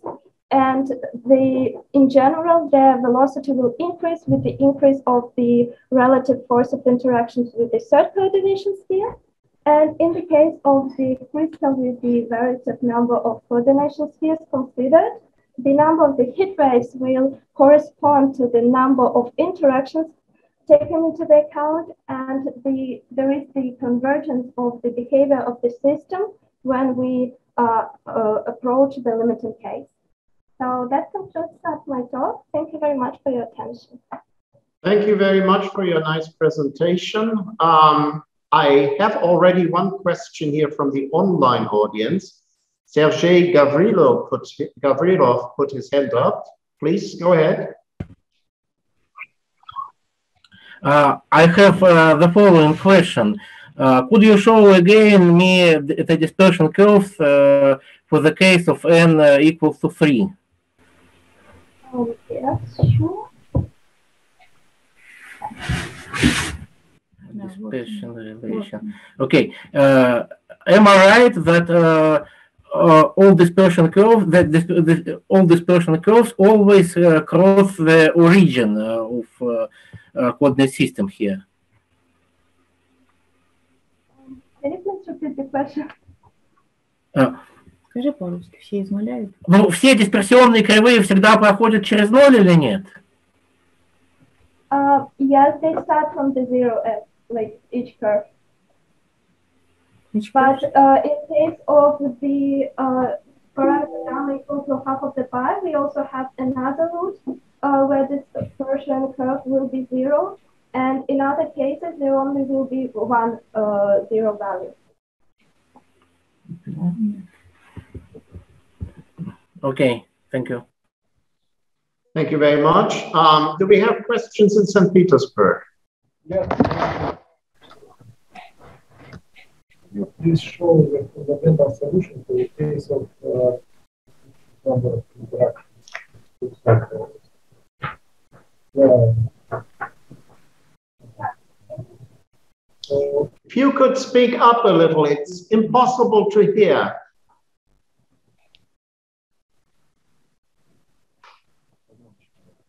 Ah. ah okay. So uh, my question was if uh, this, the width of this square is constant uh, and how, uh, how it is determined? Uh, so uh,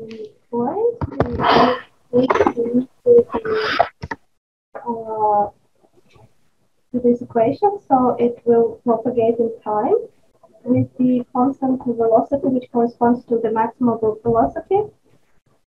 And uh, its height is defined by this coefficient. Ah. Check the total area constant.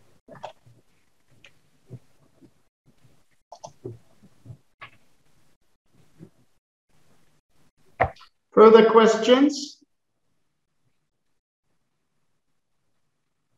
If there are no further questions, let us thank our speaker once more. Thank you very much for your nice presentation. And uh, we come to our next speaker. Uh, this is Alexei Maznev.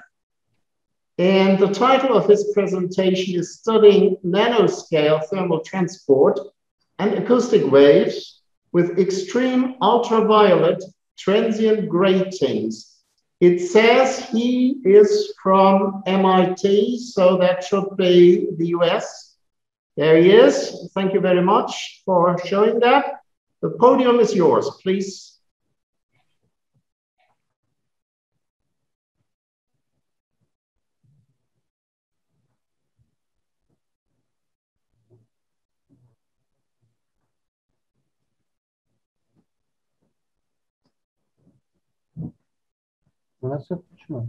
Okay. Yeah, good afternoon, everybody. You see my screen? Yes, and we hear you. Excellent. So for a change, I'm going to talk about experiments. And uh, uh, since uh, from the previous talks, um, I have a sense that many of you work on theory. Um, I will do uh, a little, uh, spend a little more time on the introduction. Okay, so how do we measure uh, thermal transport on the nanoscale?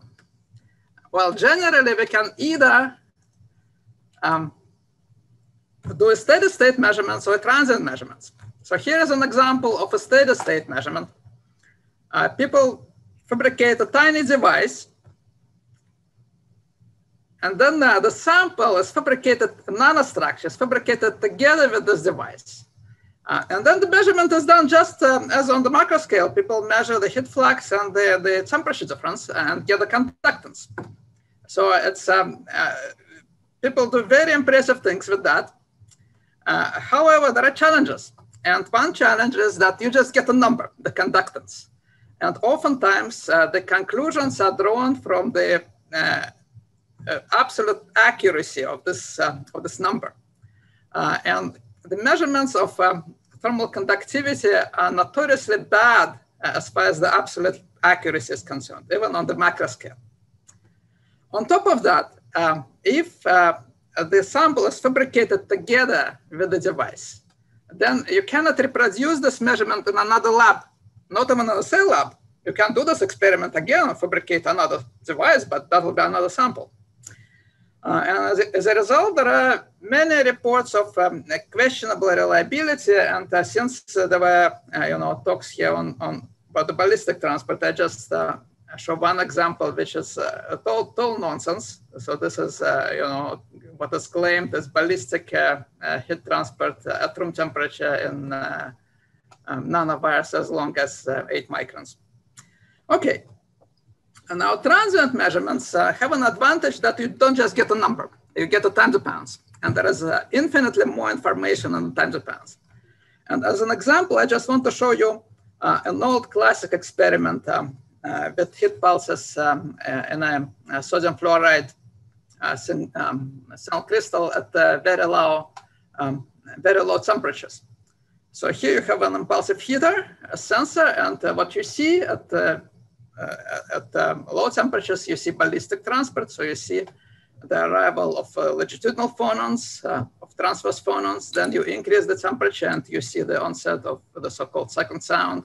And if you increase the temperature even more, you will see uh, eventually the, the, transition to the diffusive regime. Um, so you see there is uh, infinitely more information compared to uh, a steady state measurement where you just get a number. Uh, and, and, there are phenomena, for example, second sound, there are phenomena that you can only see in a transient experiment. So now, however, uh, this is not scalable to the nanoscale. Uh, one reason it's not scalable is the time scale. So you see here the measurements is um, on the microsecond scale, and the sample size was about a centimeter. So if we scale the sample down to, let's say, 100 nanometers, and then instead of microseconds, we'll have tens of picoseconds. So you can't, uh, you can't do this uh, with electronic circuits. However, we can do it with lasers. so you see, the, with lasers, we can have very short pulses, a standard laser will give you 100 femtosecond pulse, so it's uh, the time resolution is not a problem. Um, so now you still need uh, uh, uh somehow need to impose a nanoscale, and what uh, people often do, uh, they make um, nanoscale heaters, place some metal structures on top of your sample, and they set the scale, so to speak. this is, of course, not the scale of the heat transport um, because uh, the, the, heat transport goes from this nanoheaters to infinity. But it, it actually it, it, shapes, you know, shapes the temperature field. So yes, the nanoscale is imposed. But there is another problem, and that problem is that if you are interested uh, in the heat transport in, in this material, in the sample, uh, so then the metal heaters are not very helpful because there is a thermal boundary resistance between the metal heater and the sample. And the thermal boundary resistance is a very hard problem uh, in its own right in, in, the thermal transport. And oftentimes it's dominant. Uh, so you want to find some, find out something about what's going on with your sample, but the measurement will be dominant by this um, uh, thermal boundary resistance, uh, which uh, uh, plays an especially large role when you when you scale things down to, to, to, to nanometers. So many complications. Uh, there is a way, though, uh, to impose a spatial scale uh, without nanostructuring. You can, instead of, uh, you know, uh, shaping your sample, you can shape light. So for example, and that's what uh, we do, uh, you can cross two laser pulses, uh, you form an interference pattern. And then you uh, set up a periodic temperature profile in your sample, and the heat transport will take place between the maxima and minima of this uh, temperature gradient. We call it thermal grating. Uh, you can change this period simply by changing the angle between your pulses. Very convenient. Uh, so this is uh, everything take place in your sample of interest, no other materials, no interfaces involved. Now, now how then how do you measure that? How do you find out what's going on here? Uh, instead of placing many tiny sensors uh, inside a sample, we use another laser pulse. So you see uh, the temperature variation will also uh, modulate optical properties. So the, your sample with the thermal grating in it will uh, act as a diffraction grating for our probe pulse. So our probe pulse will diffract. We can monitor this diffraction and even though we cannot measure temperature in every point in our sample, um, the, the magnitude of this diffracted signal will tell us um, what the magnitude of our temperature gradient is. So we can uh, we can then watch how this temperature gradient decays uh, by, uh, you know, thermal transport.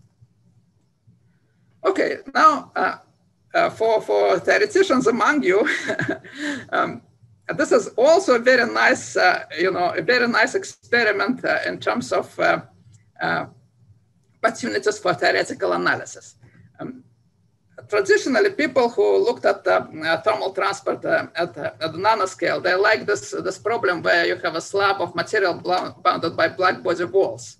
And then they make the slab thinner and they see what happens, right? So this, uh, uh, this um, has never been done experimentally because there are no black body walls for phonons to begin with. And, and this is also a hard problem. In fact, there are no analytical solutions even in the, in the simple, if you make approximations like relax, relaxation time approximation.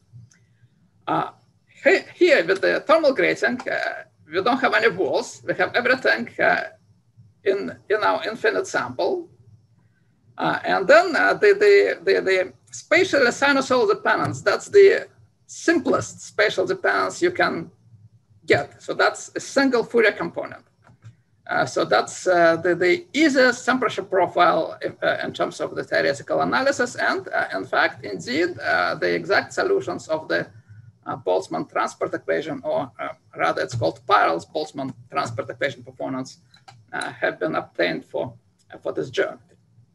now I would like to show you some examples of our past work. so here, we have a silicon sample at room temperature and um, we change the period of our thermal grating and we see how it decays.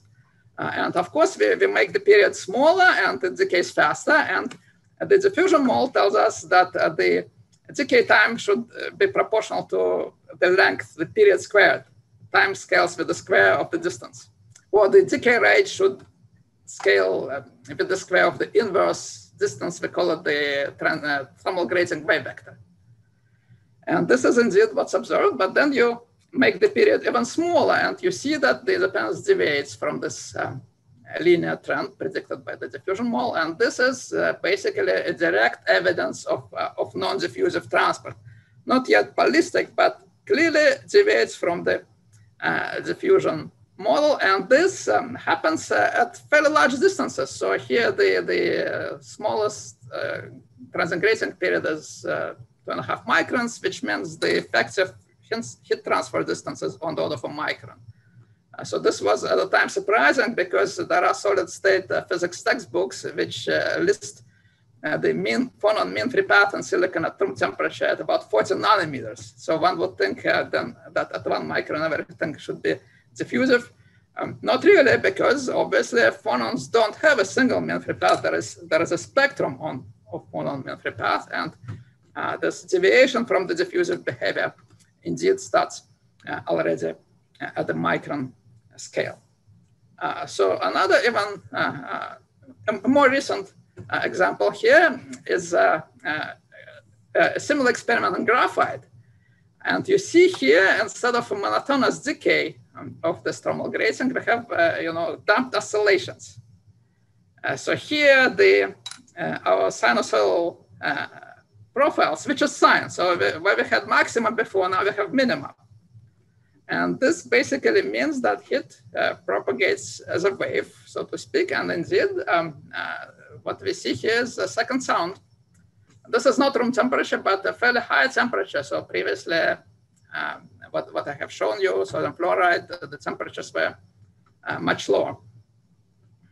And again, this is a direct observation, we can we can see the effect immediately in the in the raw data. And um, here is the theory. The agreement actually is not as the the, the qualitative agreements there, uh, but uh, not exactly quantitative, I would say.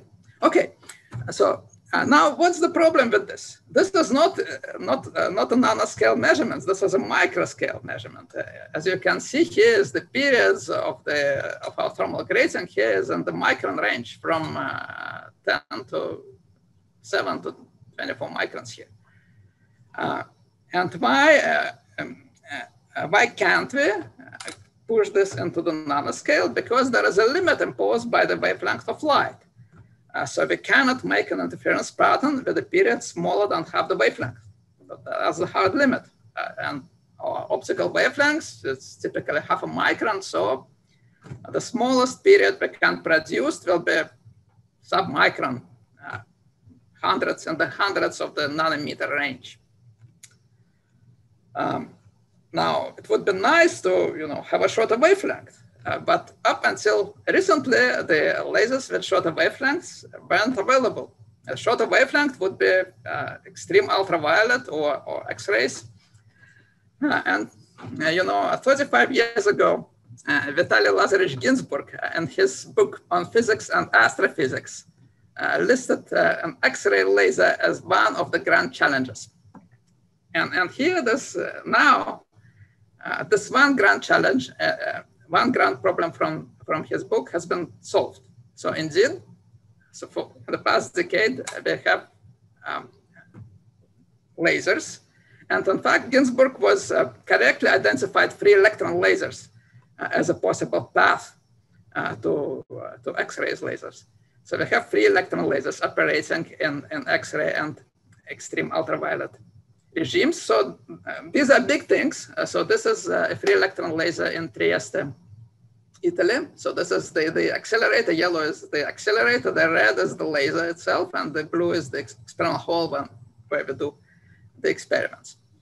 Uh, and uh, at this facility, uh, the, the, this is not quite X-ray, so the wavelength range is 4 to 100 nanometers. So this is the from soft X-ray to, to extreme ultraviolet, but still much shorter, so 10 to 100 times shorter compared to the uh, optical, visible optical range. Um, okay, so uh, at this facility, there was a dedicated effort um, on, on building a transient setup. So it took uh, from the conception of the idea, it took um, about uh, eight years uh, to construct. So looks easy here, but uh, you see this is the actual design. Uh, each tank is a, is a, separate vacuum chamber. the whole tank is about 10 meters long.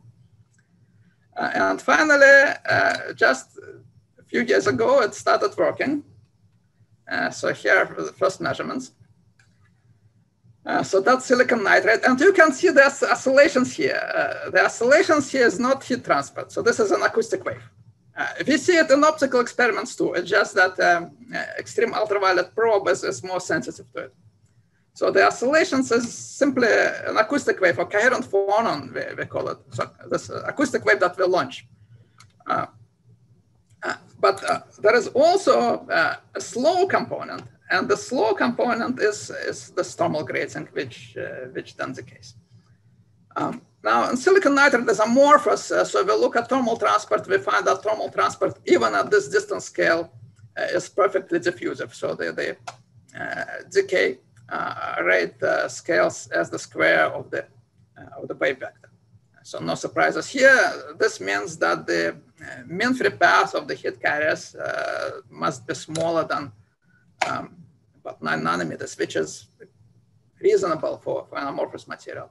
Uh, now, acoustic waves are also of interest. This is basically a way to generate very high frequency coherent phonons. Here, the frequency you see goes up to 0.4, almost up to 0.4 terahertz, and we can push it, it even further into, into the terahertz range. So that's another another thing uh, that uh, could be used to, to uh, investigate investigate very high frequency phonons.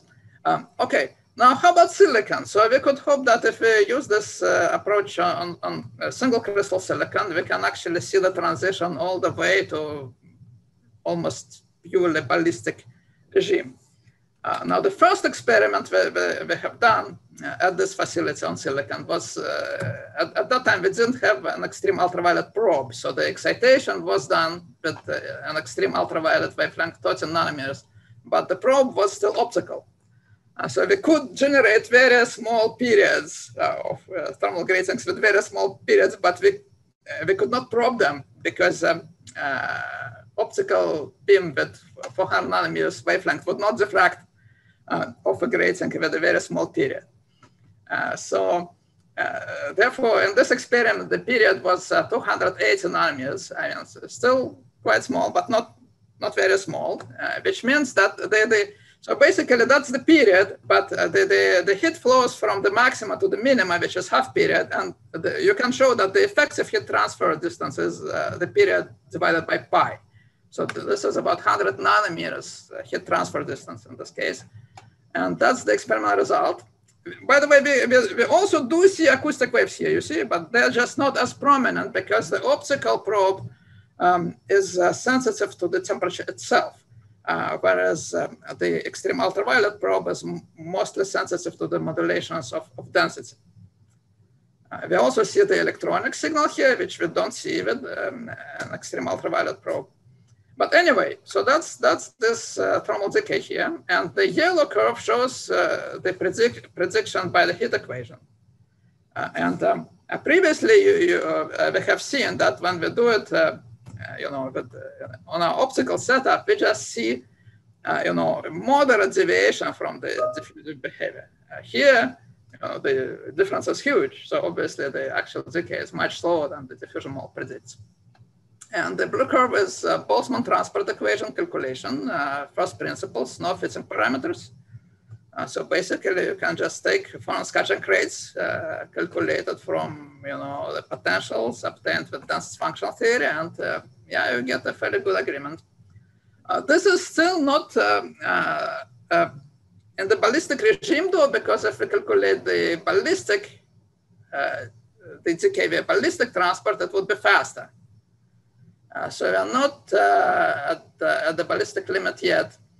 And by the way, just uh, again for the theoreticians here, I, I would like to mention that you know, obviously calculating anything in the ballistic regime is difficult because uh, the ballistic regime means there is no there are no um, anharmonic interactions. But if there are no anharmonic interactions, there is no mechanism to establish the thermal equilibrium initial state. Uh, so here, this calculation assumes that we start from thermal equilibrium at room temperature. Uh, but there is a contradiction here, right? Because uh, if time is too short for the phonons to interact, we cannot uh, establish this thermal equilibrium. So then the question is, uh, we really need to look at the you know, details of the excitation. With uh, our laser, we excite the electronic system first, then the excited carriers relax, they transfer energy to phonons. So we should actually look to which phonon modes the energy is transferred. So this is not, not as simple. Uh, but so anyway, uh, so this is um, our uh, most recent, very recent um, uh, result where we finally managed to do an experiment with extreme ultraviolet pump and probe. Uh, so the, the grating period is uh, 70 nanometers. Um, that is the heat transfer distance on the order of uh, 20, micro, uh, 20 nanometers. Uh, the, the diffusion model prediction yellow here. So at this point, doesn't make any sense. So the, the diffusion model predicts the, the um, relaxation time of under one picosecond, but under one picosecond, the, the phonons just can't go anywhere. So they can only, you know, uh, it's the, the, the for the longitudinal phonons, the speed of sound is uh, 8 nanometers per picosecond. So they can't just, uh, uh, it's, not, it's not possible for this short time uh, for it to propagate, physically impossible.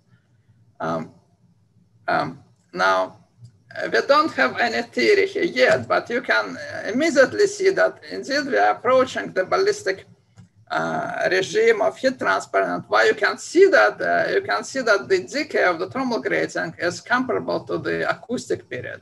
And the acoustic period is the time of flight uh, for the longitudinal acoustic phonons uh, to get over one period of the grating. So we see that the time scale is the same, similar. So the heat propagates almost uh, with the speed of sound. Uh, okay, so yeah, we'll have the analysis very soon. Stay tuned. And um, however, how are doing with time? So I think in the interest of time, I, will just skip uh, uh, the remaining uh, two slides. And then I would like to um, thank my collaborators at MIT and also at the Fermi Elettra in Trieste. Uh, and um, thank you for your attention. Thank you very much for such an interesting talk to bring us back to reality. That's much appreciated. I was informed uh, that spontaneously uh, an extra credit of 10 minutes will be given for questions since uh, we do not have many experimental talks. And I'm sure there will be a lot of questions from the podium. I'm also quite certain that I and Professor Krivtsov and Alex Sokolov will be in touch with you to discuss it in private. So anyway, uh, without further ado, questions from St. Petersburg, please.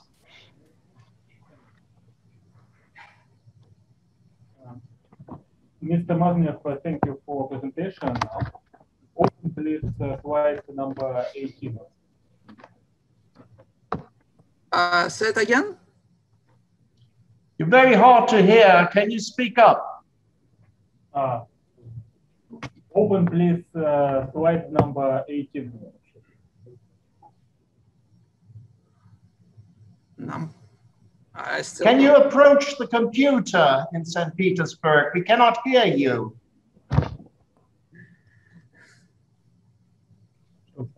Yes, uh, can you please open slide 18? Ah. Yes, okay. Uh, okay. Um, am I rightly understood uh, that uh, you have measured uh, phonon signal?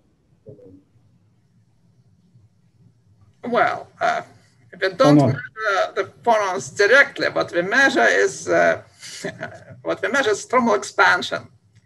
Uh, not really, right? So in this case, not really, right? So we measure the temperature, so to speak. Uh, We measure the optical properties, and we believe that the op- optical properties, the the uh, sort of the uh, this gradient of the optical properties of the refractive index reproduces the temperature.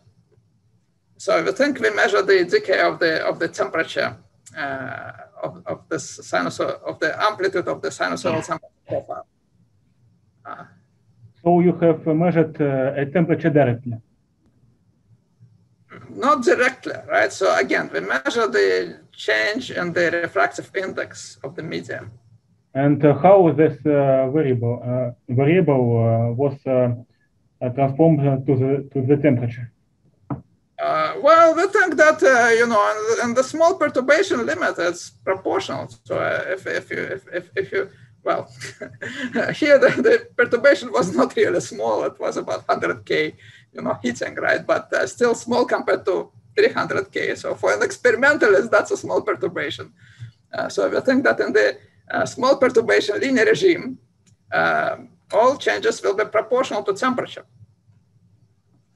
Uh, so that, uh, however, the, what, I'm plotting here, the, the signal, uh, the signal uh, is quadratic uh, with respect to the uh, to the refractive index change. So it's uh, what we what we measure here. It's is proportional to the amplitude of the temperature modulation squared. Okay, thank you. And uh, the second uh, last question, I haven't uh, understood uh, the divergence uh, between uh, experiment results and the red uh, ballistic curve. Maybe the Boltzmann transport equation uh, has uh, has uh, this equation uh, an right uh, part of uh, integral collision collision term or not?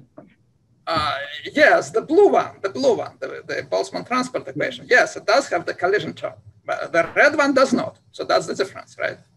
So if you eliminate the collisions, you get the red curve. With collisions, you have the blue curve. Uh, okay. And the collisions, uh, this is, uh, again, just to caution you, this is the relaxation time approximation. Uh, so this is uh, basically you you just get uh, take scattering if uh, scattering rate for a given phonon mode, so you don't um, uh, don't um, you know treat the details of the the phonon phonon interactions. But um, now it is also possible to to solve the Boltzmann transport equation with the full scattering matrix, which um, actually accounts for the three phonon um, uh, scattering character.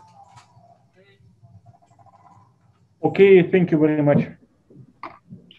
Are there further questions in St. Petersburg or maybe here at the online or from the online audience? Uh, may I ask a question? I will come closer to the computer. Yes, please come closer. Yes, uh, am I close enough? No. Wonderful. Yeah, great. Uh, thank you very much, uh, Professor Maznev, for your very interesting presentation. And actually, I will continue the question by Sergey. So what seems to be a little bit unexpected in this uh, picture is that your ballistic curve doesn't have any oscillations. Uh, yes, this is, uh, well, we, we start, uh, we start with thermal equilibrium distribution at 300K. Uh, and, uh, you know, there are, first of all, three, three phonon modes plus optical phonons, right? And mm -hmm. there is also dispersion. Yeah.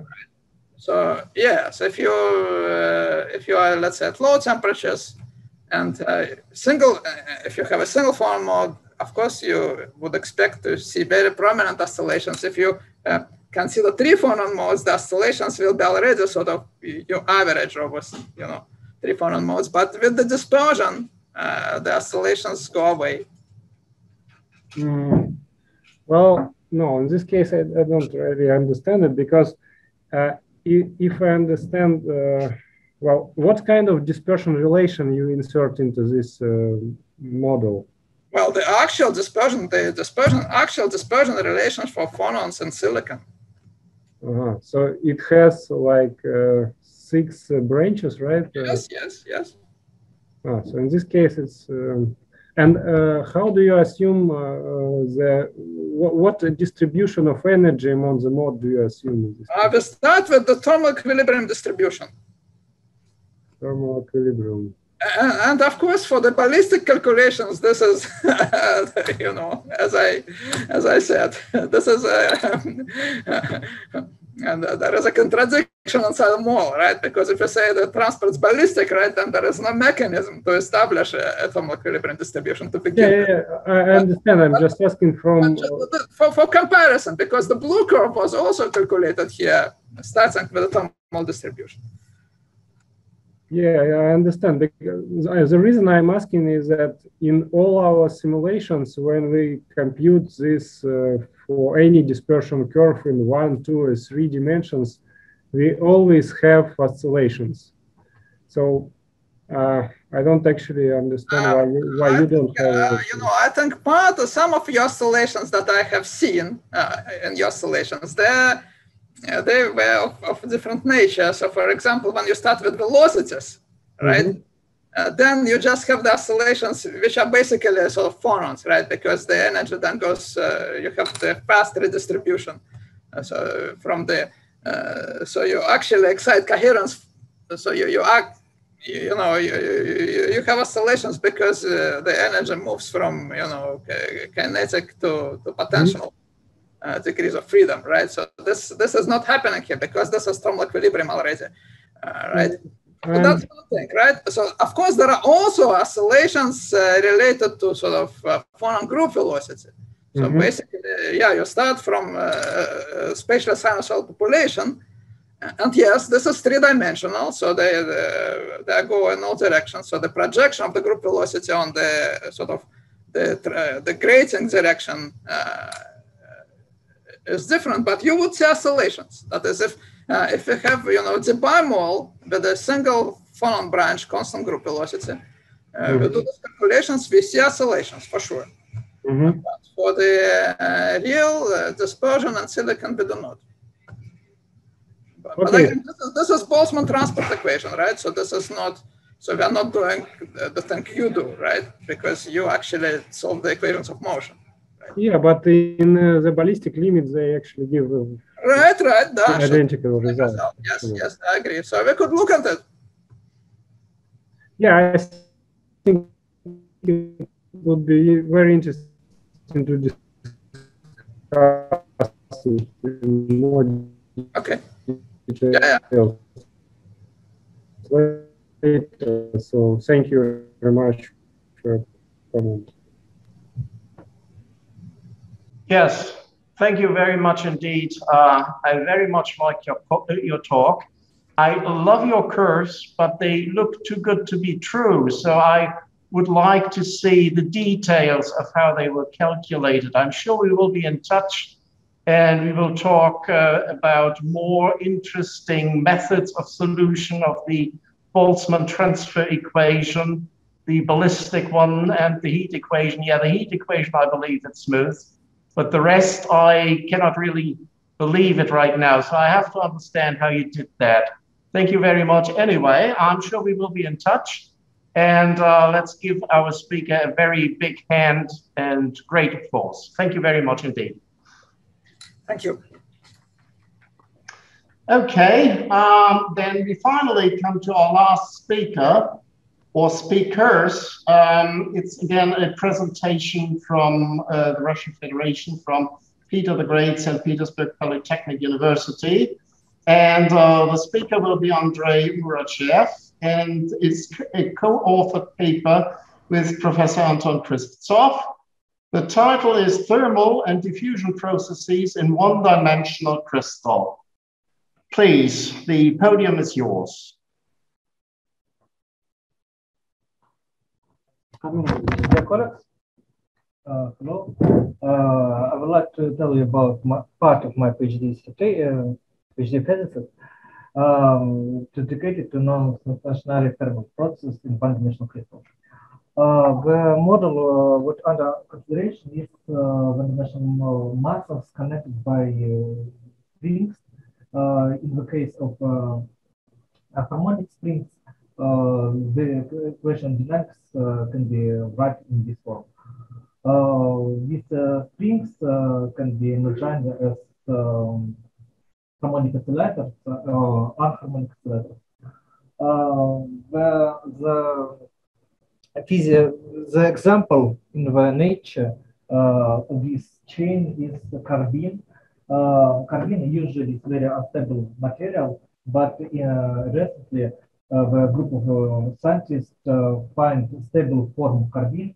Uh, in, this, in, in their experiments, uh, carbyne is protected by um, carbon nanotubes. and this form was, was, very, was very stable and um, so, and so you can say about uh, these topics and, and study, study this material. Uh, uh, the study um, carbyne, uh, the study um, one-dimensional crystals has a great story. story uh, one of first scientists who uh, research, who study uh, dynamics of one-dimensional crystals is um, Erwin Schrödinger. Uh, he found that uh, dynamics of any particles uh, this is described by a via Bessel function. Uh, 40 years ago, uh, Prigozhin uh, studied uh, energy oscillation in this system, and uh, he found that energy oscillation is described uh, Bessel function too. Uh, but where box is not uh, uh, is very mm, is is not is unknown because Erwin Schrödinger wrote this paper in German and uh, Lev Prigozhin wrote his, his paper in French and um, and uh, the most of scientists don't know about his papers. Uh, but uh, I would like to tell you that uh, Friedrich Bessel is not only mathematician, he was astronomer, and he was a first scientist who found distance between sun and any star. this star was um, 61 sign, sign uh, and uh, he uh, opened uh, eyes uh, to human uh, what distance, cosmic distance, on, on cosmic distance. 40 years, several years ago, Alan Dudley and study um, energy oscillation in molecular chain. Uh, but uh, he found that uh, energy oscillate, but don't know why in over age 20, 20, 20th century, uh, group of group group of scientists found that uh, uh, energy energy energy lake in the pro, pro, uh, protein uh, chains. Protein chains. Uh, in 2014, uh, Krivtsov found analytical solution in harmonic chain and found that uh, temperature, kinetic temperature related by Bessel function. Uh, so well, this part is very um, has a great story, uh, has a great history, and my uh, research is dedicated on two topics: kinetic temperature oscillation in finite crystals and uh, oscillation kinetic temperature in uh, big alpha 2 crystals. Uh, this uh, uh, my uh, initial conditions, uh, we decided to see initial conditions, this definition of, of kinetic temperature. I, I, would, I would like to know that kinetic temperature is proportional to kinetic energy and the and uh, in, in initial moment of time potential energy is zero and uh, kinetic energy is uh, uh, is not zero is constant and not, not zero constant um, after after any perturbation the crystal uh, has uh, some the crystal transits to no in initial moment of time crystals uh, in uh, non uh, the non-equilibrium state and uh, after after it transits to equilibrium state. These transition processes we can we can observe some effects, some phenomena. the first phenomenon is that velocity distribution tends to Gaussian and um, uh, energy crystals uh, and kinetic uh, total energy redistributed between uh, kinetic energy and potential energy. Uh, what uh, what now, in this slide you can see kinetic energy, kinetic temperature in finite crystals. Uh, you can see Bessel function, but the, but uh, after uh, certain moment of time, you can see uh, a jump in amplitude of, of oscillation. Uh, after oscillation became, more, more complex, after you can see in you jump and, uh, you, and these jumps uh, occurs periodically. Why? Well, what happens? Uh, to solve this this task, this problem, I use covariance analysis. Covariance as mathematical expectation between two values, uh, two random uh, values, uh, and the index of covariance is um, corresponding to distance between two particles. if you can see equations of dynamics covariance, uh, uh, how you can see uh, these equations is very similar to equation dynamics of particles in the harmonic chain. So, so, so, so covariance with zero index is proportional to kinetic temperature. So we can see, so we can find uh, temperature uh, kinetic temperature. Uh, and uh, we can uh, and n is a finite number, so we can uh, we can rewrite this uh, uh, formula in Hermann's Bessel function. this, this, this formula is very accurate, and we can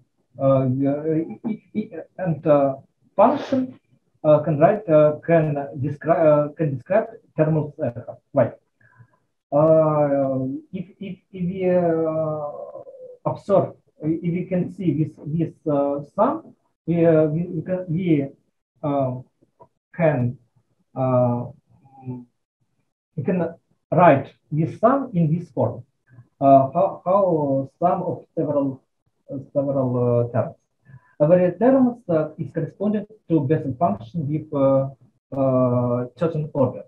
Uh, Bessel function zero order is oscillation is an oscillated function, but second, but Bessel function with even order is a particular zero on certain moment of time, and after it's uh, it uh, it um, oscillates with uh, with decreasing amplitude. The sum this function get us uh, allow us to obtain uh, function of uh, the acceleration function for kinetic temperature in finite crystals. Yeah, in the case of uh, infinite crystals, we can see only one the one term because this term is uh, uh, remains zero. What nature of of uh, thermal cell? Uh, dynamics of crystals uh, is described by oscillations of every particle. Every particles uh, generate two waves, left waves and right waves what uh, meet each other on uh, opposite sides of the crystal. Uh, every, every waves from every particle meet each other in one moment of time, and we can observe uh, sharp increase energy, uh, uh, sharp of amplitude kinetic energy. these situations repeat periodically, and we can see uh, uh, sharp, uh, sharp jumps of amplitude of amplitude kinetic energy. Uh, in, uh, in the case, uh, in, this, in this slide, you can see uh, uh, uh, a real crystal, carbyne with 100 1000 atoms, and, and perturbations, initial perturbations, 100 degrees of Celsius, lead us to first Raman echo with amplitude 5, 5 degrees of Celsius.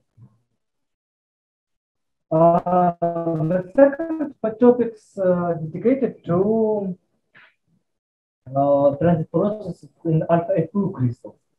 Uh, we, uh, the second term is very, very small, and we can enter our uh, task to find uh, uh, a relationship be between thermal process and mechanical processes. In initial moment of time, our crystals is deformed instantly, and we we want to find um, but the transit processes to new equilibrium state. If this, if this crystal was uh, harmonic, uh, trans, uh, we don't uh, we don't we don't absorb transit processes. if our crystal has anharmonic of springs, this, pro this, pro this process can be absorbed. Uh, if, if use if if if uh, we use uh, theorem, we can find uh, kinetic temperature after after loading on large time. Uh, in this formula, you can see this formula. These formulas can be found from virial theorem, but um, virial theorem don't allow us to to find transit processes how trans processes uh, in uh, happens in uh, this uh, we use uh, for find analytical solution, we use uh, our harmonic equation. we neglect, we neglect quadratic terms, but in these equations remains anharmonic terms, terms proportional to anharmonic harmonic coefficient. this equation is harmonic, and uh, we can find uh, solution from uh, known known known theory. you can see here generalized Lagrangian, which proportional Bessel function, and and this this Lagrangian proportional kinetic temperature, and we and, and after some mathematics we can find uh, kinetic temperature uh, in uh, kinetic temperature as function of time. Uh, you can see uh, here uh, comparison with analytical solution and numerical solution. in in the case of negative alpha, negative alpha, the temperature in new temperature um, low than uh, all temperature. Uh, in, in the real chain, uh, carbon chain, uh, the, the deformation um, in 1% uh, to uh, uh, create, change of, of temperature in 1.7 uh, degrees of Celsius. Okay, and thank you for attention. If you can, uh, any question, I would like to, to, to ask. Thank you very much for your presentation. Um, yes, questions please from St. Petersburg or online questions.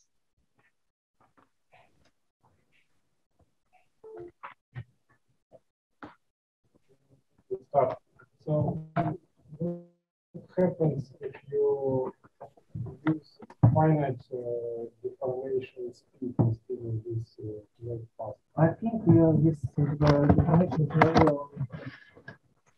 I think uh, the uh, uh, I um a very good question. Good question.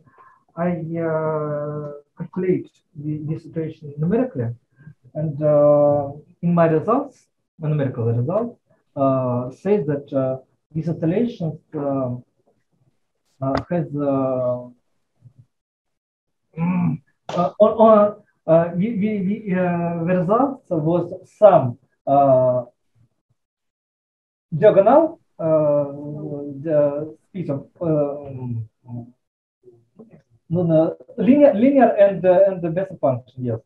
Uh, so, function and uh, yes, yes. But how, how we can uh, deformate? Uh, by, by step by step uh, function. The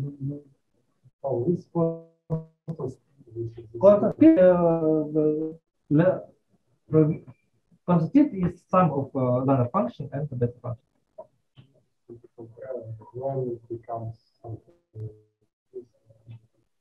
Okay, we can.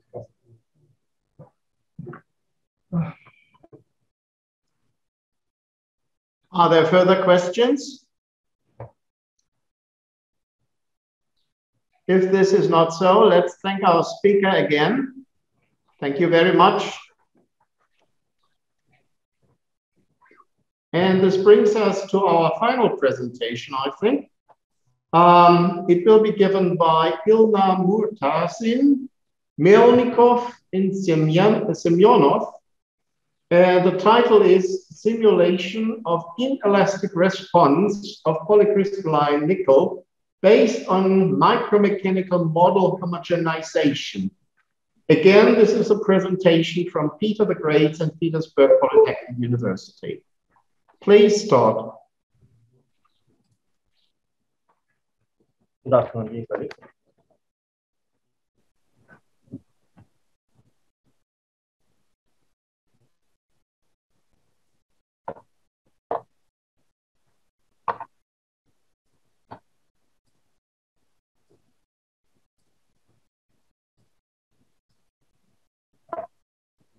I'm glad to present you my research work, simulation of inelastic response of polycrystalline nickel based on mechanical model.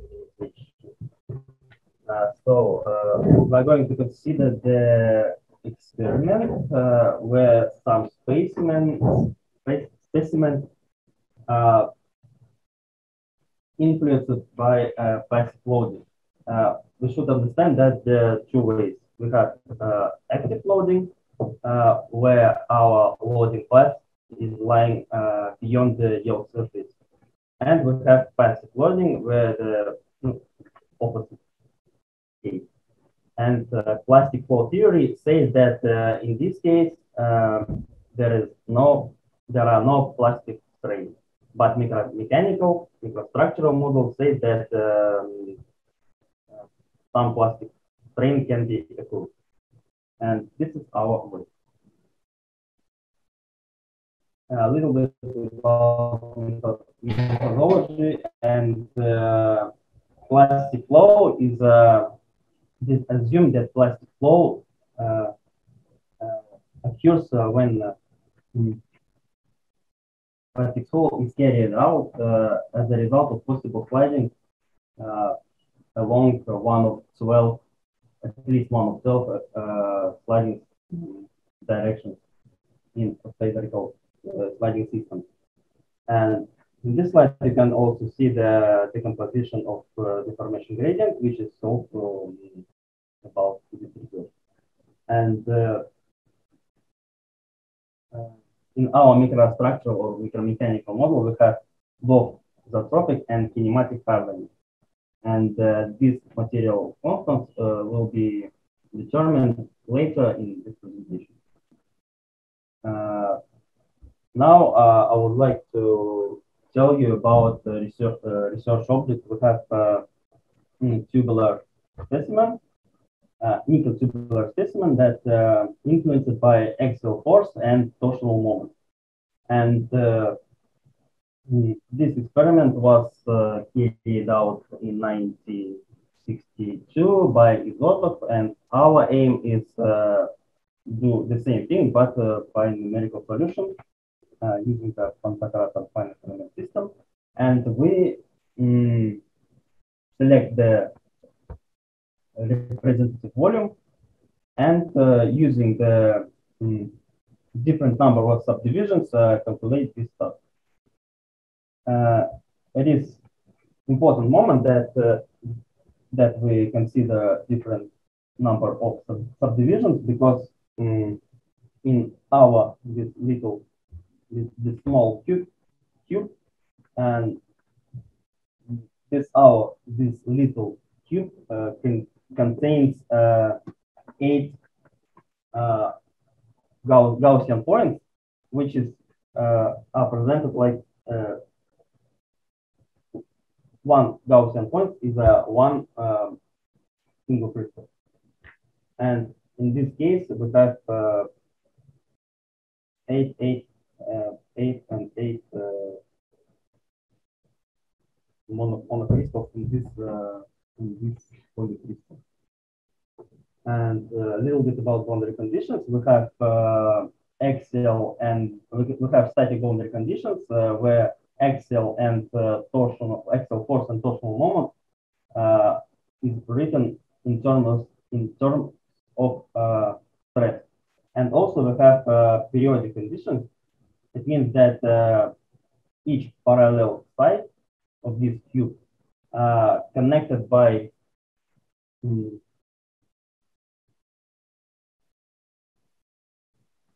connected by beams and in each node displacement uh, in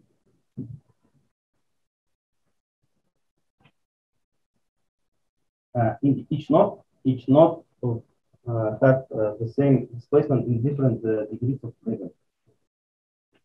And this is loading path with tension and torsion, compression, torsion, etc. And this we uh, obtain uh, material constants. Uh, this material constants uh, using the MATLAB curve fitting toolbox. We have experimental curve, and we approximate this points by two exponents.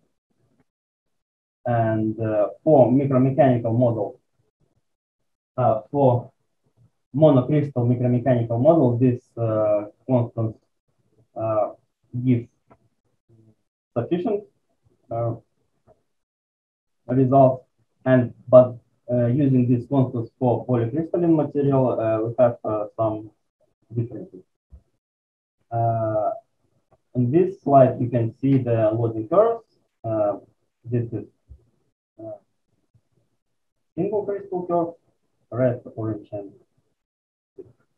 and the blue and green is a polycrystalline.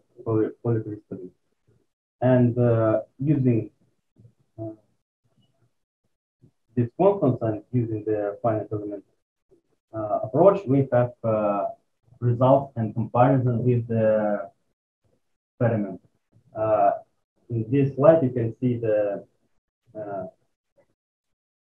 deformation, deformation by x-axis and the uh, share of deformation. And uh, as you can see, mm, the small number of subdivisions uh, demonstrates uh, a large spread of, uh, of the received value. So mm, for this purpose, the dependence of the dispersion of, on the number of subdivision was plotted. And Thank you for.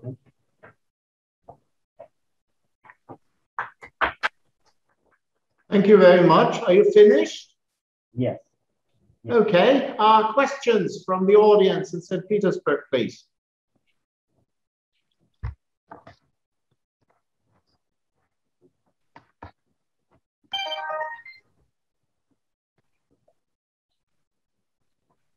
Are there any questions?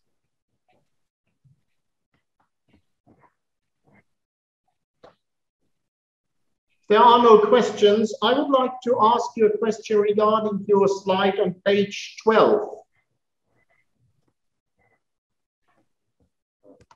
Uh, you show us some material constants here for the plastic properties, for the, uh, for the uh, plastic yield and the hardening. And I was wondering for your homogenization, do you not need the parameters for the various slip systems, the Schmid parameters, in order to do a homogenization? Are these known for your system?